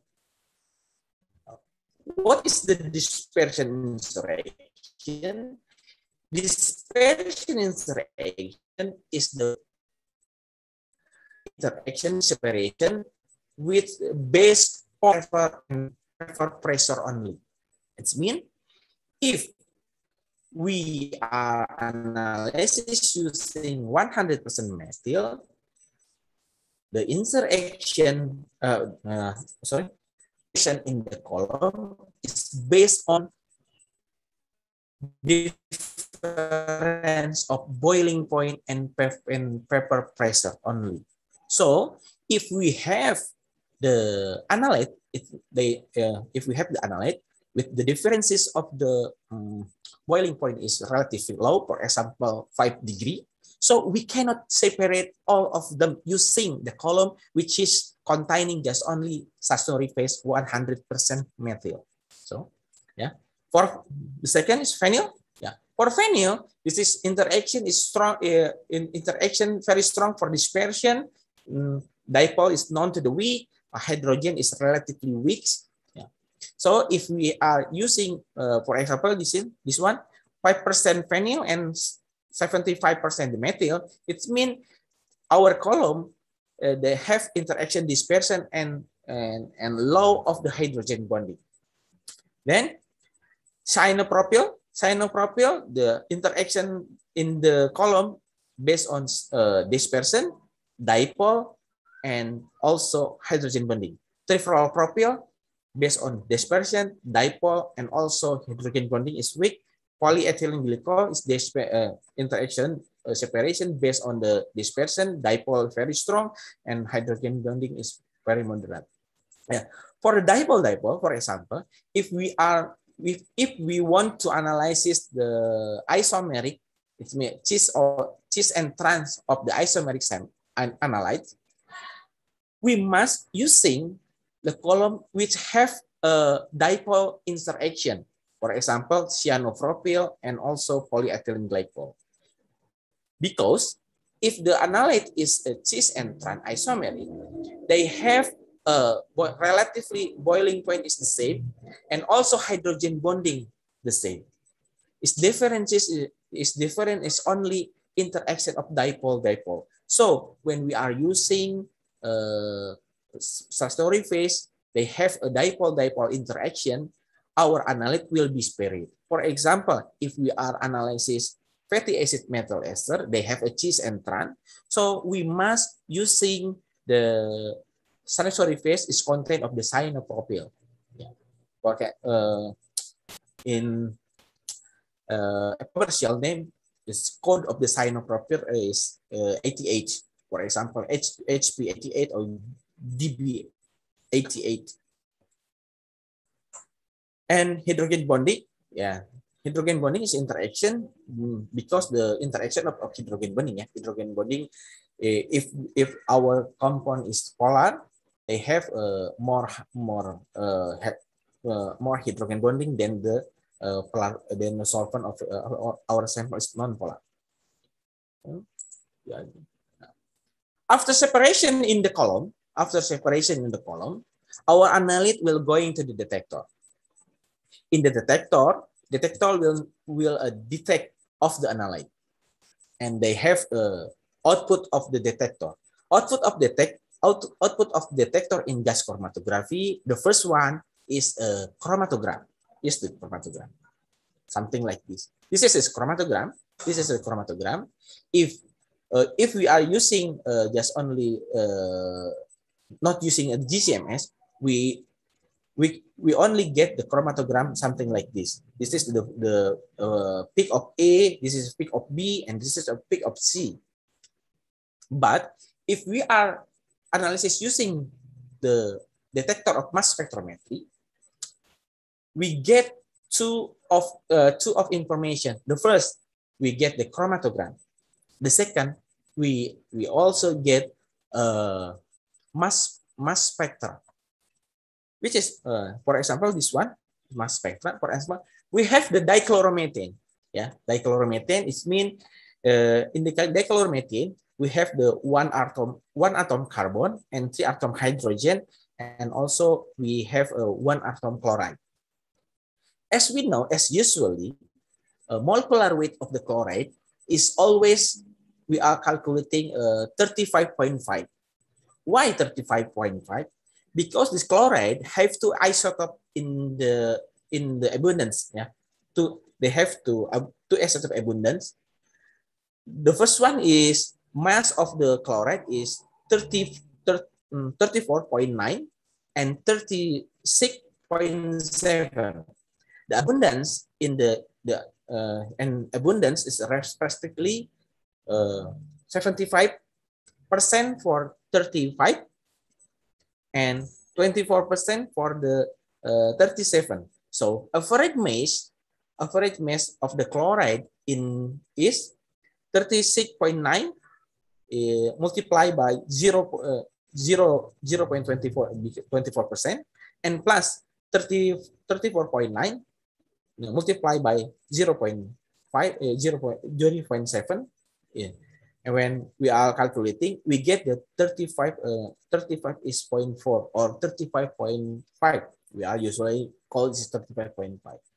So, but in mass spectrometry, we cannot get the average mass as 35, 35.5. In this is the spectrum of the dichloromethane. This is the spectrum of the chloromethane. Uh, we know that the dichloromethane, this is a uh, mass spectrum of the uh, sorry uh, molecular molecular weight of 50, and this is a, a 50, and this is 42. Where where uh, the 50 is coming from this one, because we have one one atom carbon, it means uh, molecular weight of carbon is 12, and then 3 of the hydrogen and plus of 36 so we can get uh, we can get mass uh, molecular molecular weight of the all the chloromethane is 51.9 or we or we can get we, we can call this 52 after that the second yeah we also uh, one atom carbon and three atom atom hydrogen and also one atom chloride with the molecular weight is 35.9 so the molecular weight of the dichloromethane is uh, 49.9 or 50. So in the spectrum of dichloromethane, this one, we can get this 50 and also this is a 42. 42 is coming from the hydro, is coming from the dichloromethane with the chloride, with the chloride is in uh, using molecular weight is 37 and the 50 this is coming from the dichloromethane with the molecular weight of chloride is 35. So this is the mass spectrum of the uh, dichloromethane. The 50 after that 50 then uh, uh, 35 it mean uh, it mean uh, the loss of the 15 of the molecular weight we can predict it uh, the 15 is coming from this is uh, this is coming from the uh, CH3 yeah, coming from the CH3. So after CH3, 15, and this one is filled in uh, sorry uh, 35 and sorry, 35, and after that it is 15. This is for coming from the CH10. The fifth, uh, uh, sorry, 35 is coming from the chloride, and 37 also coming from the chloride, and the 15 is coming from the CH3. Now, this is the pattern of the fragmentation of dichloromethane. Uh, in the analysis of the GCMS, some uh, not sometimes, but usually in Indonesia, in Indonesia, we are comparing our mass spectrum comparing to the, the library. So in the library will be analysis which is uh, which is uh, with the same uh, label uh, com, com, com, apa, com, com, combining with the with the library and after that we are uh, can uh, can decide which is our sample is the same with the very high, uh, uh, higher similarity. But it is not true. Uh, it is not true but be, because we have elaborate because uh, the higher similarity is not is not the the first it's not the first choice. But we must uh, we must evaluate. Evaluate it evaluate using uh, another information. For example, um, we are we are must uh, we are analysis using retention indices. We are analysis using the FTIR. After that, we are using uh, data of the mass spectrometry, and we are combined. After combine, we can uh, take a, a conclusion, which is our sample is uh, a, B, or the C compound. Okay, thank you. Okay, I will stop there. Okay, this is the short presentation. After the, now we are we are you are watching uh, the video because uh, yesterday we are uh, make a video for the uh, for the how to analyze our sample using in GCMS. Please, Miss Mela, can you uh, share?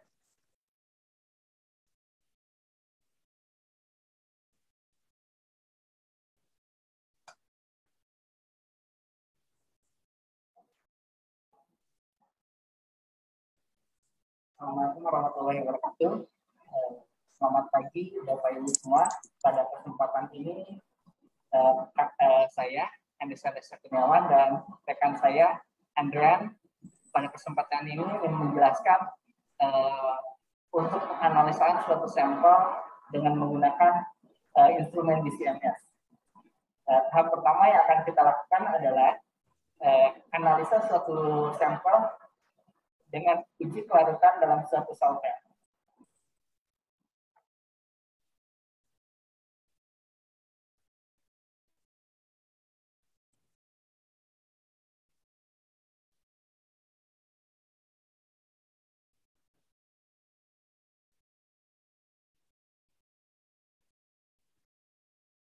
Yang telah uh, yang telah dilakukan dalam ini uh, solvent yang kita gunakan sekarang dipastikan dia adalah terlalu sempurna karena proses dari BCMS adalah uh, memastikan suatu sampel dia dapat terubah pasrah ke dalam uh, suatu gas nanti masuk ke ada pemisahan di dalam kolom dan kemudian di uh, analisa uh, di dalam detektornya. Uh, dalam hal ini analisa kita gunakan GC yang kita gunakan adalah dari Agilent dengan seri 7890D. Kemudian untuk uh, detektor yang kita gunakan adalah detektor MS dengan seri 5977A. Sedangkan untuk kolom yang kita gunakan adalah uh, DB5MSUI. Ini kolom yang kita gunakan. Dan terakhir adalah uh, injektor uh, auto menggunakan auto injektor. Sampel yang sudah siap dianalisa kita simpan di tray uh, auto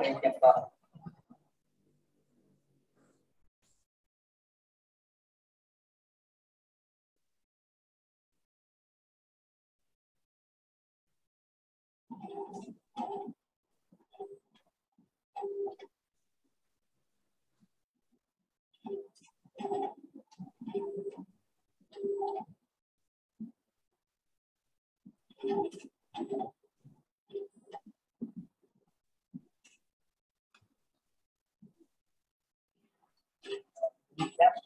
penjelasan untuk analisa menggunakan CMS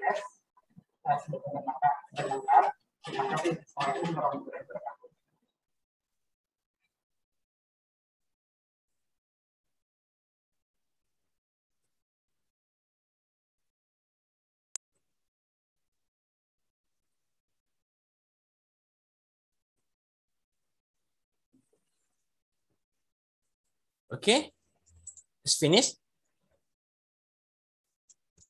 Okay, uh, now the time will be, uh, this is the experiment when we are analyzing using the GCMS. Uh, relatively for the analysis GCMS is take a uh, 30 minute or we, we can also uh, below the 30 minute depend on our method our method and also our sample and also our column. Because uh, we cannot uh, generalization gen generalization of the our method. So uh, because uh, our sample it, the sample is they have the characteristic is very different. See okay this is finished in our first presentation. So miss mela Thank you, uh, Mr. Andreas, for giving us such interesting presentation about the CMS and also the practical video of how uh, to analyze the sample. And ladies and gentlemen, now we come to the discussion session and I would like to read the question from the chat box. Um, so I will read the question one by one and Mr. Andreas can answer directly to the respective question. Yeah. So this is the first question. It is a confirmation from Mr. Anjas Asmara. He would like to confirm about the slide that you are presented. He asked that is that the chloromethane written on the slide? Maybe you can share again this the presentation slide that show the peak of the yeah. analysis. So he would like to confirm is it uh, chloromethane or dichloromethane? Sorry, sorry. Dichloromethan. Eh, dichloromethane. Dichloromethane. Yeah. Okay, okay. Is it in the last slide? Yes. Yes. Chloromethane. Sorry, chloromethane. Oh, so this is chloromethane. Chloromethane. So chloromethane. That's okay. dichlor. Chloromethane. Okay. It's not a dichloromethane. So yes, this is correct. Oh, pick right for chloromethane. Okay, maybe that's uh, enough confirmation for Mr. Anjas Asmara. Okay. And then we move on to the next question from Sus, from Rin. When I analyze of reference sample, I got the result not same with library. Can you explain about hydrocarbon reference? So Mr. Andreas, please answer the question. Okay, okay. Uh, we must understand of the mechanism in the gas in, in the GCMS spectrum and the GCMS, GCMS spectrum. Uh, if uh, if one peak, we we if uh, one peak is not only one compound. The first the first one is one peak is not only one compound because one peak it can be contain two compound or more because depend of the mechanism separation in the column. For example, if we are using uh, the sample is only uh, they have the mechanism just only dispersion only. Yeah, dispersion mechanism in the column is based in only differences of different of boiling point.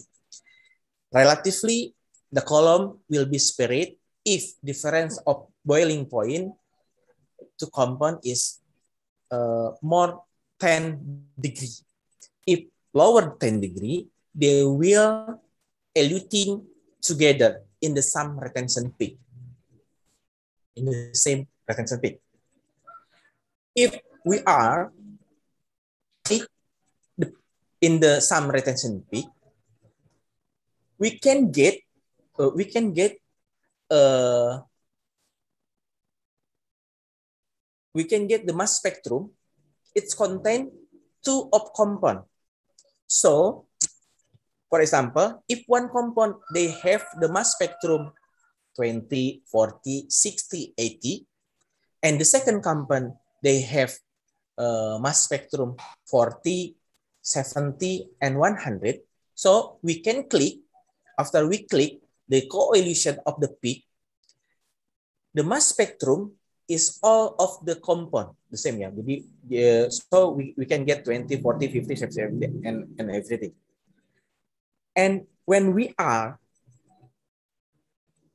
uh, when we are we uh, match um, match match with the library, so the library will generate all the all the spectrum, all the spectrum. So because all the spectrum is contained to a peak, so they will make the information which is uh, very similar, which is uh, which is with the very similar, very similar. So this is a different of the compound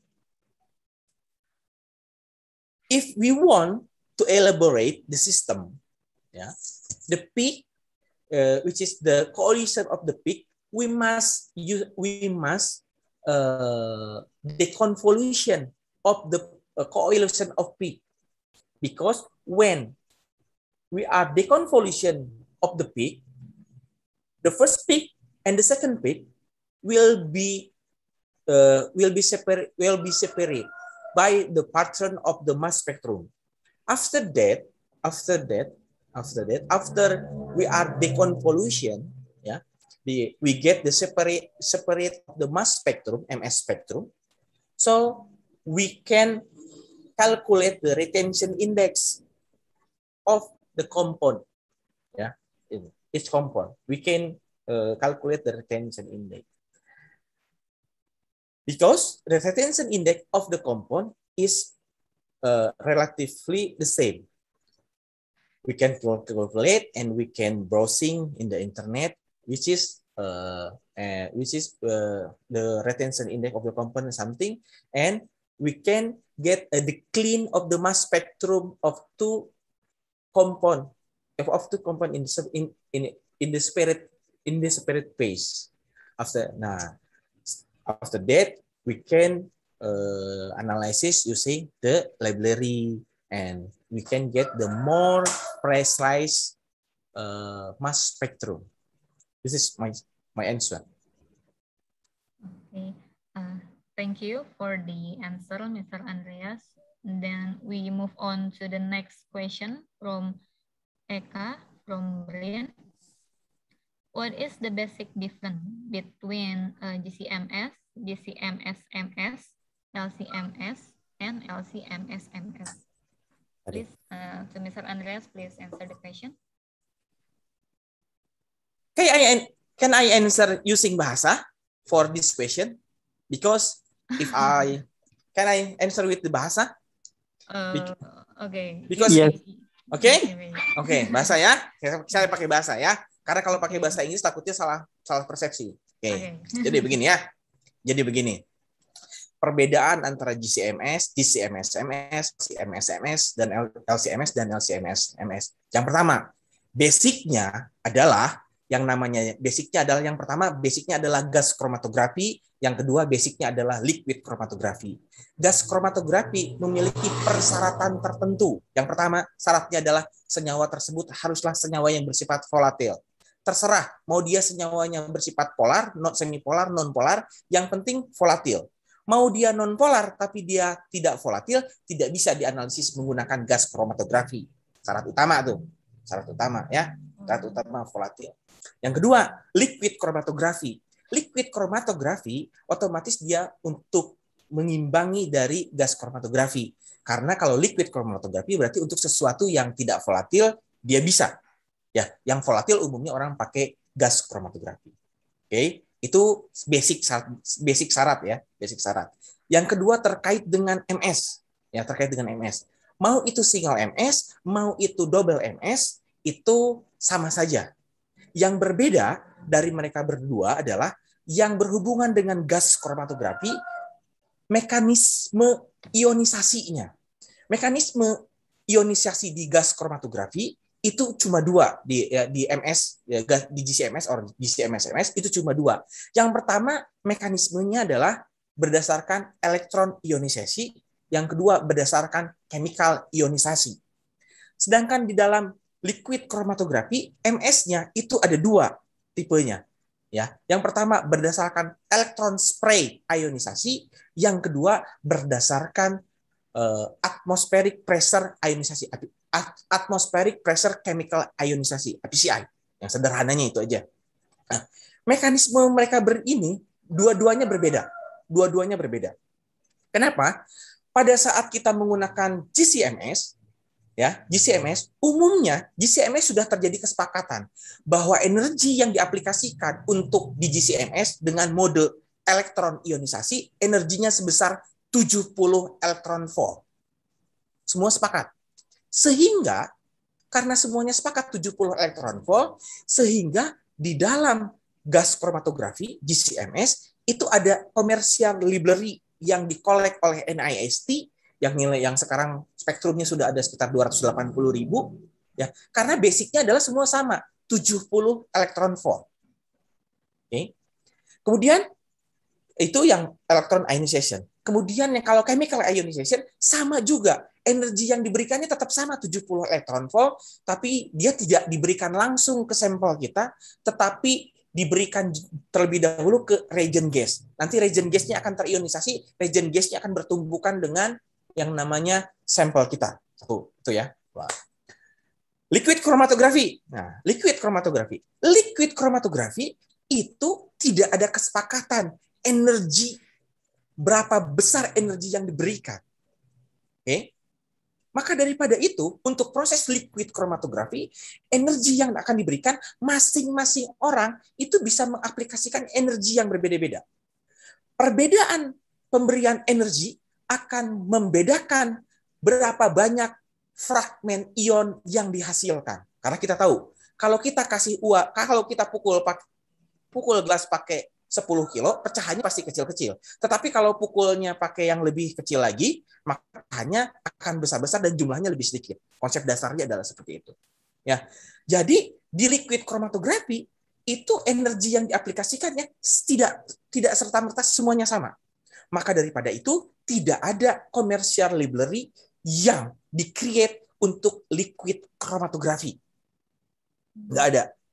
Jadi dia komersial, jadi library-nya di-create adalah by own, oleh diri kita sendiri, atau kita tarik besarnya lagi oleh manufaktur alat LCMS itu sendiri. Sedangkan kalau GCMS itu sifatnya universal. Semuanya 70 elektron volt. LCMS enggak. Oke? Maka daripada itu, sekarang begini, kalau kita kasih energi tinggi, kalau kita kasih energi tinggi, pecahan fragmennya pasti banyak. Satu. Yang kedua, tidak selalu kita bisa mendapatkan molecular weight dari senyawa yang di fragmen tersebut. Tidak selalu. Tapi kalau kita pakai energinya rendah, pecahan fragmennya pasti sedikit dan pasti kita akan mendapatkan molecular weight dari senyawa yang jadi target itu. Itu ya. Itulah kurang lebih perbedaannya terkait dengan MSMS-nya, dia terkait dengan MSMS-nya, dia detektor MS-nya, MS-nya ada dua, mass analyzer-nya ada dua. Jadi pas pada saat dia diionisasi pertama, dia terpecah menjadi fragmen, kita bisa melakukan pemilihan dari fragmen tersebut yang mau diambil yang mana. Yang mau diambil yang mana, untuk selanjutnya diionisasi lagi, dipecah lagi menjadi lebih kecil. Sebagai contoh, suatu senyawa Mungkin kalau kita select ionnya adalah 50, anggap nih, berat saya, berat uh, berat saya anggap 75 kilo. Berat badan Pak Egi, berat badan Pak Egi Agustian kurang lebih sama misalnya 75 kilo. Kalau saya dipotong bagian tangannya, sisa badannya, mungkin berat badan sisa badan itu masih sama dengan badan Pak Egi, misalnya sama-sama 50. Tetapi kalau dipotong kaki lagi, dipotong kakinya lagi, maka berat badannya akan berbeda karena masa kakinya berbeda. Nah, di MS itu sistemnya begitu. Yang namanya MS kedua itu adalah difragmentasi kedua untuk bisa mencari perbedaan.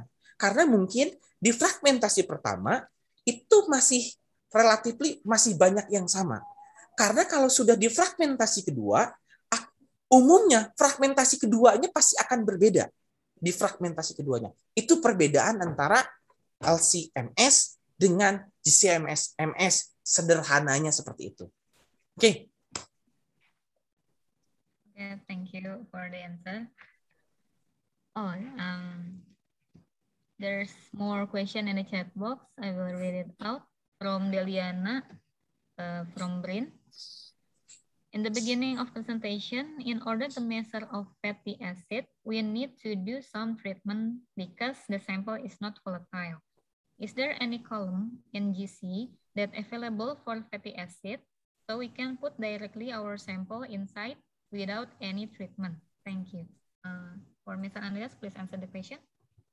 For if we are using a treatment, it means a methylation system, we can we can use the uh, column of the HP 88. But for the direct of analysis without uh, methylation process, we can use another column, but I forgot the name of the column. This is available.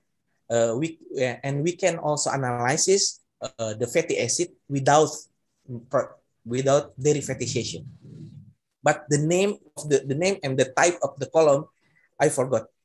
You can uh, check to the vendor of the gas chromatography.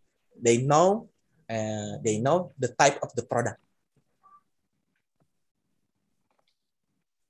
Okay, thank you for the answer.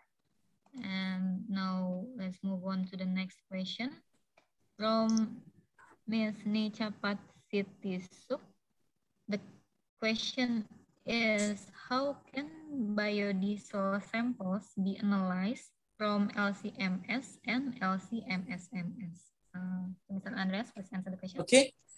For the analysis of the biodiesel, it depend of the analyze, we can the analysis.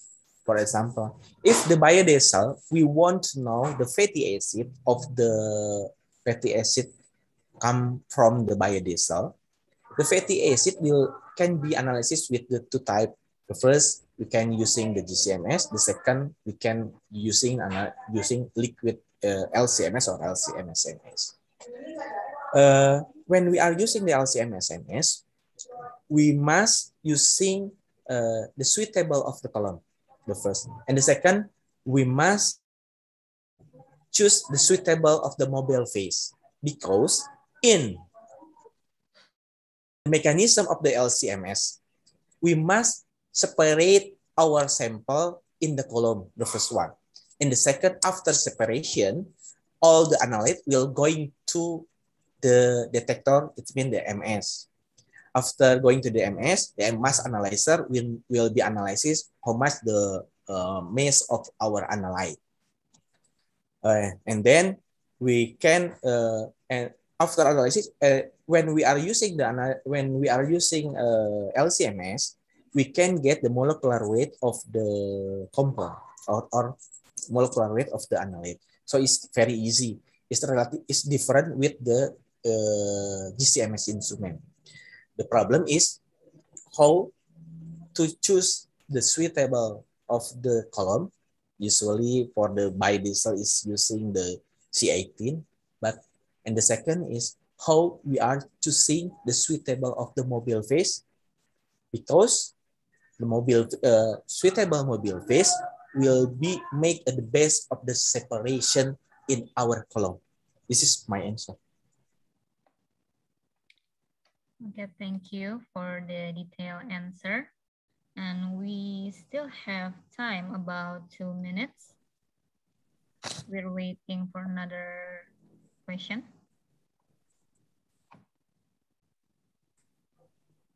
Okay. Maybe I would like to ask some question for Mr. Andreas. Yeah. Um, in MS uh, analysis, there's a retention time and also percent area of the substance, right? So I would like to ask, is it uh, represent the actual quantity of the substance or we should have a detail or inject some uh, standard to confirm the quantity of the substance? This the percent area on the chromatogram mm -hmm. is not actual concentration of the analyte in the sample. Oh. Why? For example, when we are analysis using the GCMS, it means just only volatile compound will be appear on the chromatogram. Okay, but for the for uh, non-volatile compound, they will be not appear on the chromatogram. So, if if only volatile compound on the chromatogram, but non-volatile compound not is not detect by the detector, why we cannot conclusion conclude that uh, that uh, percent area it's mean actual concentration. So for the actual concentration is the same, we must using the standard. Because in the instrumentation analysis, all the concentration is uh, comparing to the some to the standard, which is we know the concentration. Comparing what what kind of comparison comparison? Comparison with the response, because in our sample we only know the response, we don't know the concentration, but in standard we know the concentration and we also get the when we also get the response. So response and concentration from the standard is comparing to the response to the sample so we can get the concentration of the sample. This is this is my answer. Thank you for the enlightened answer from Mr. Andreas. So if if it's not further question from the participant, and Cut, yeah. yeah. Oh, Malditov. The, the addition and the question Okay. from Katia. Maldi- Malditov is available on Cibinong. Please, you can go to the Cibinong in the INACC. This is available of the MALDI-TOF MS. Okay. So, okay. This is about the MALDI-TOF. So, yeah. Thank you for the information from Mr. Andreas. And is there any more question from the participant? If it's not further question, please allow me to end this session. And I would like to thank Mr. Andreas as the speaker for the informative and interesting presentation. Thank you very much. And also thank you for all the participants for the very active participation. Okay, and I would like to give back to the floor to the MC, Mr. Uh, I'm sorry, Dr. Zetariana. Thank you. Thank you very much, Miss Melati. Ladies and gentlemen, finally, we came to the end of our workshop today. We would like to thank you for spending your time with us today and all the active participations. Thank you for the speakers, moderator, the committee, and the last but not least, to distinguished participants. See you in the tomorrow event. We will conduct the symposium September 29 to 30, 2021 at 8 a.m. In advance, to all participants, please make sure to rename your Zoom ID properly according to your participant category to set up into the correct breakout room in the parallel session for tomorrow's symposium. Ladies and gentlemen, the seventh International Symposium on Applied Chemistry 2021 is sponsored by Era Mitra Perdana, supported by Dynatech International, Horiba Indonesia, Dirka Niaga Mitra. As master of ceremony, from the deepest my heart, I do apologize for my mistakes in presenting this ceremony. Thank you very much for your attention and goodbye. Wassalamualaikum warahmatullahi wabarakatuh.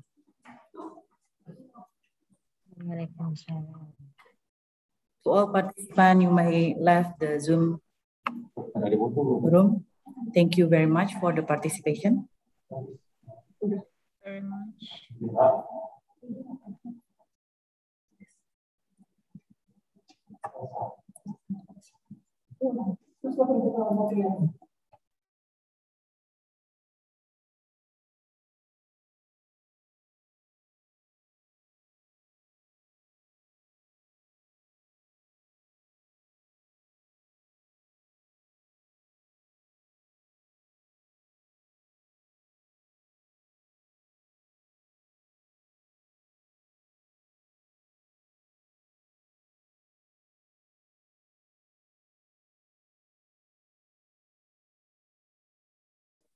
Halo Pak Nino. Halo juga. Baru muncul Pak. Tektok kan ya. Oh, tektokan ya.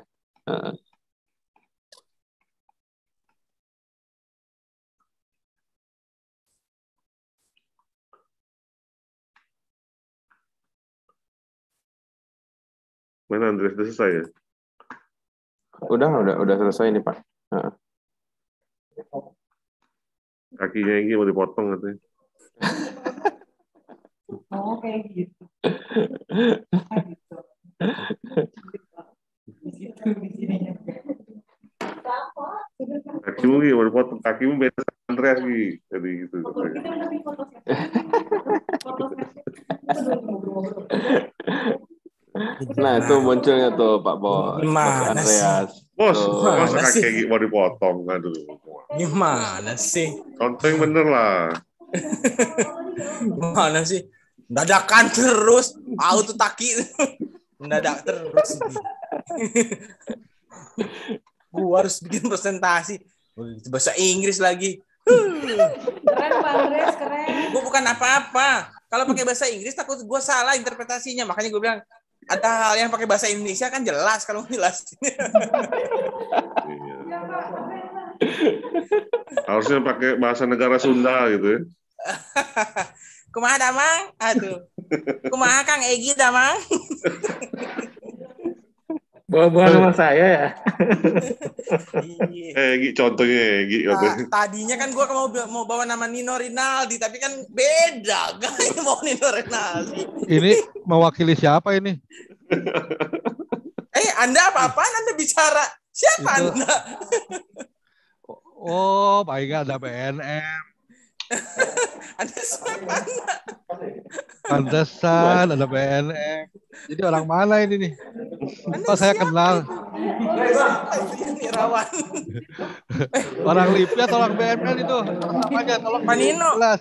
Itu deputi infrastruktur kok ikutan di sini? Mau ngapain ya deputi infrastruktur? Jadi boleh bahasa Indonesia deh ceritanya. Eh, Dodol, itu mah kan biar nggak salah persepsi. Eh, Pak Bos, i- Iya. kita nih langsung live streaming di YouTube loh. Biarin Oh, iya. lah. Daripada salah persepsi. Iya. Waduh. Yang ini live streaming juga nih. Yang ini live streaming. Iya, Yang ini live streaming. Live streaming juga ini masih. Ah, siap.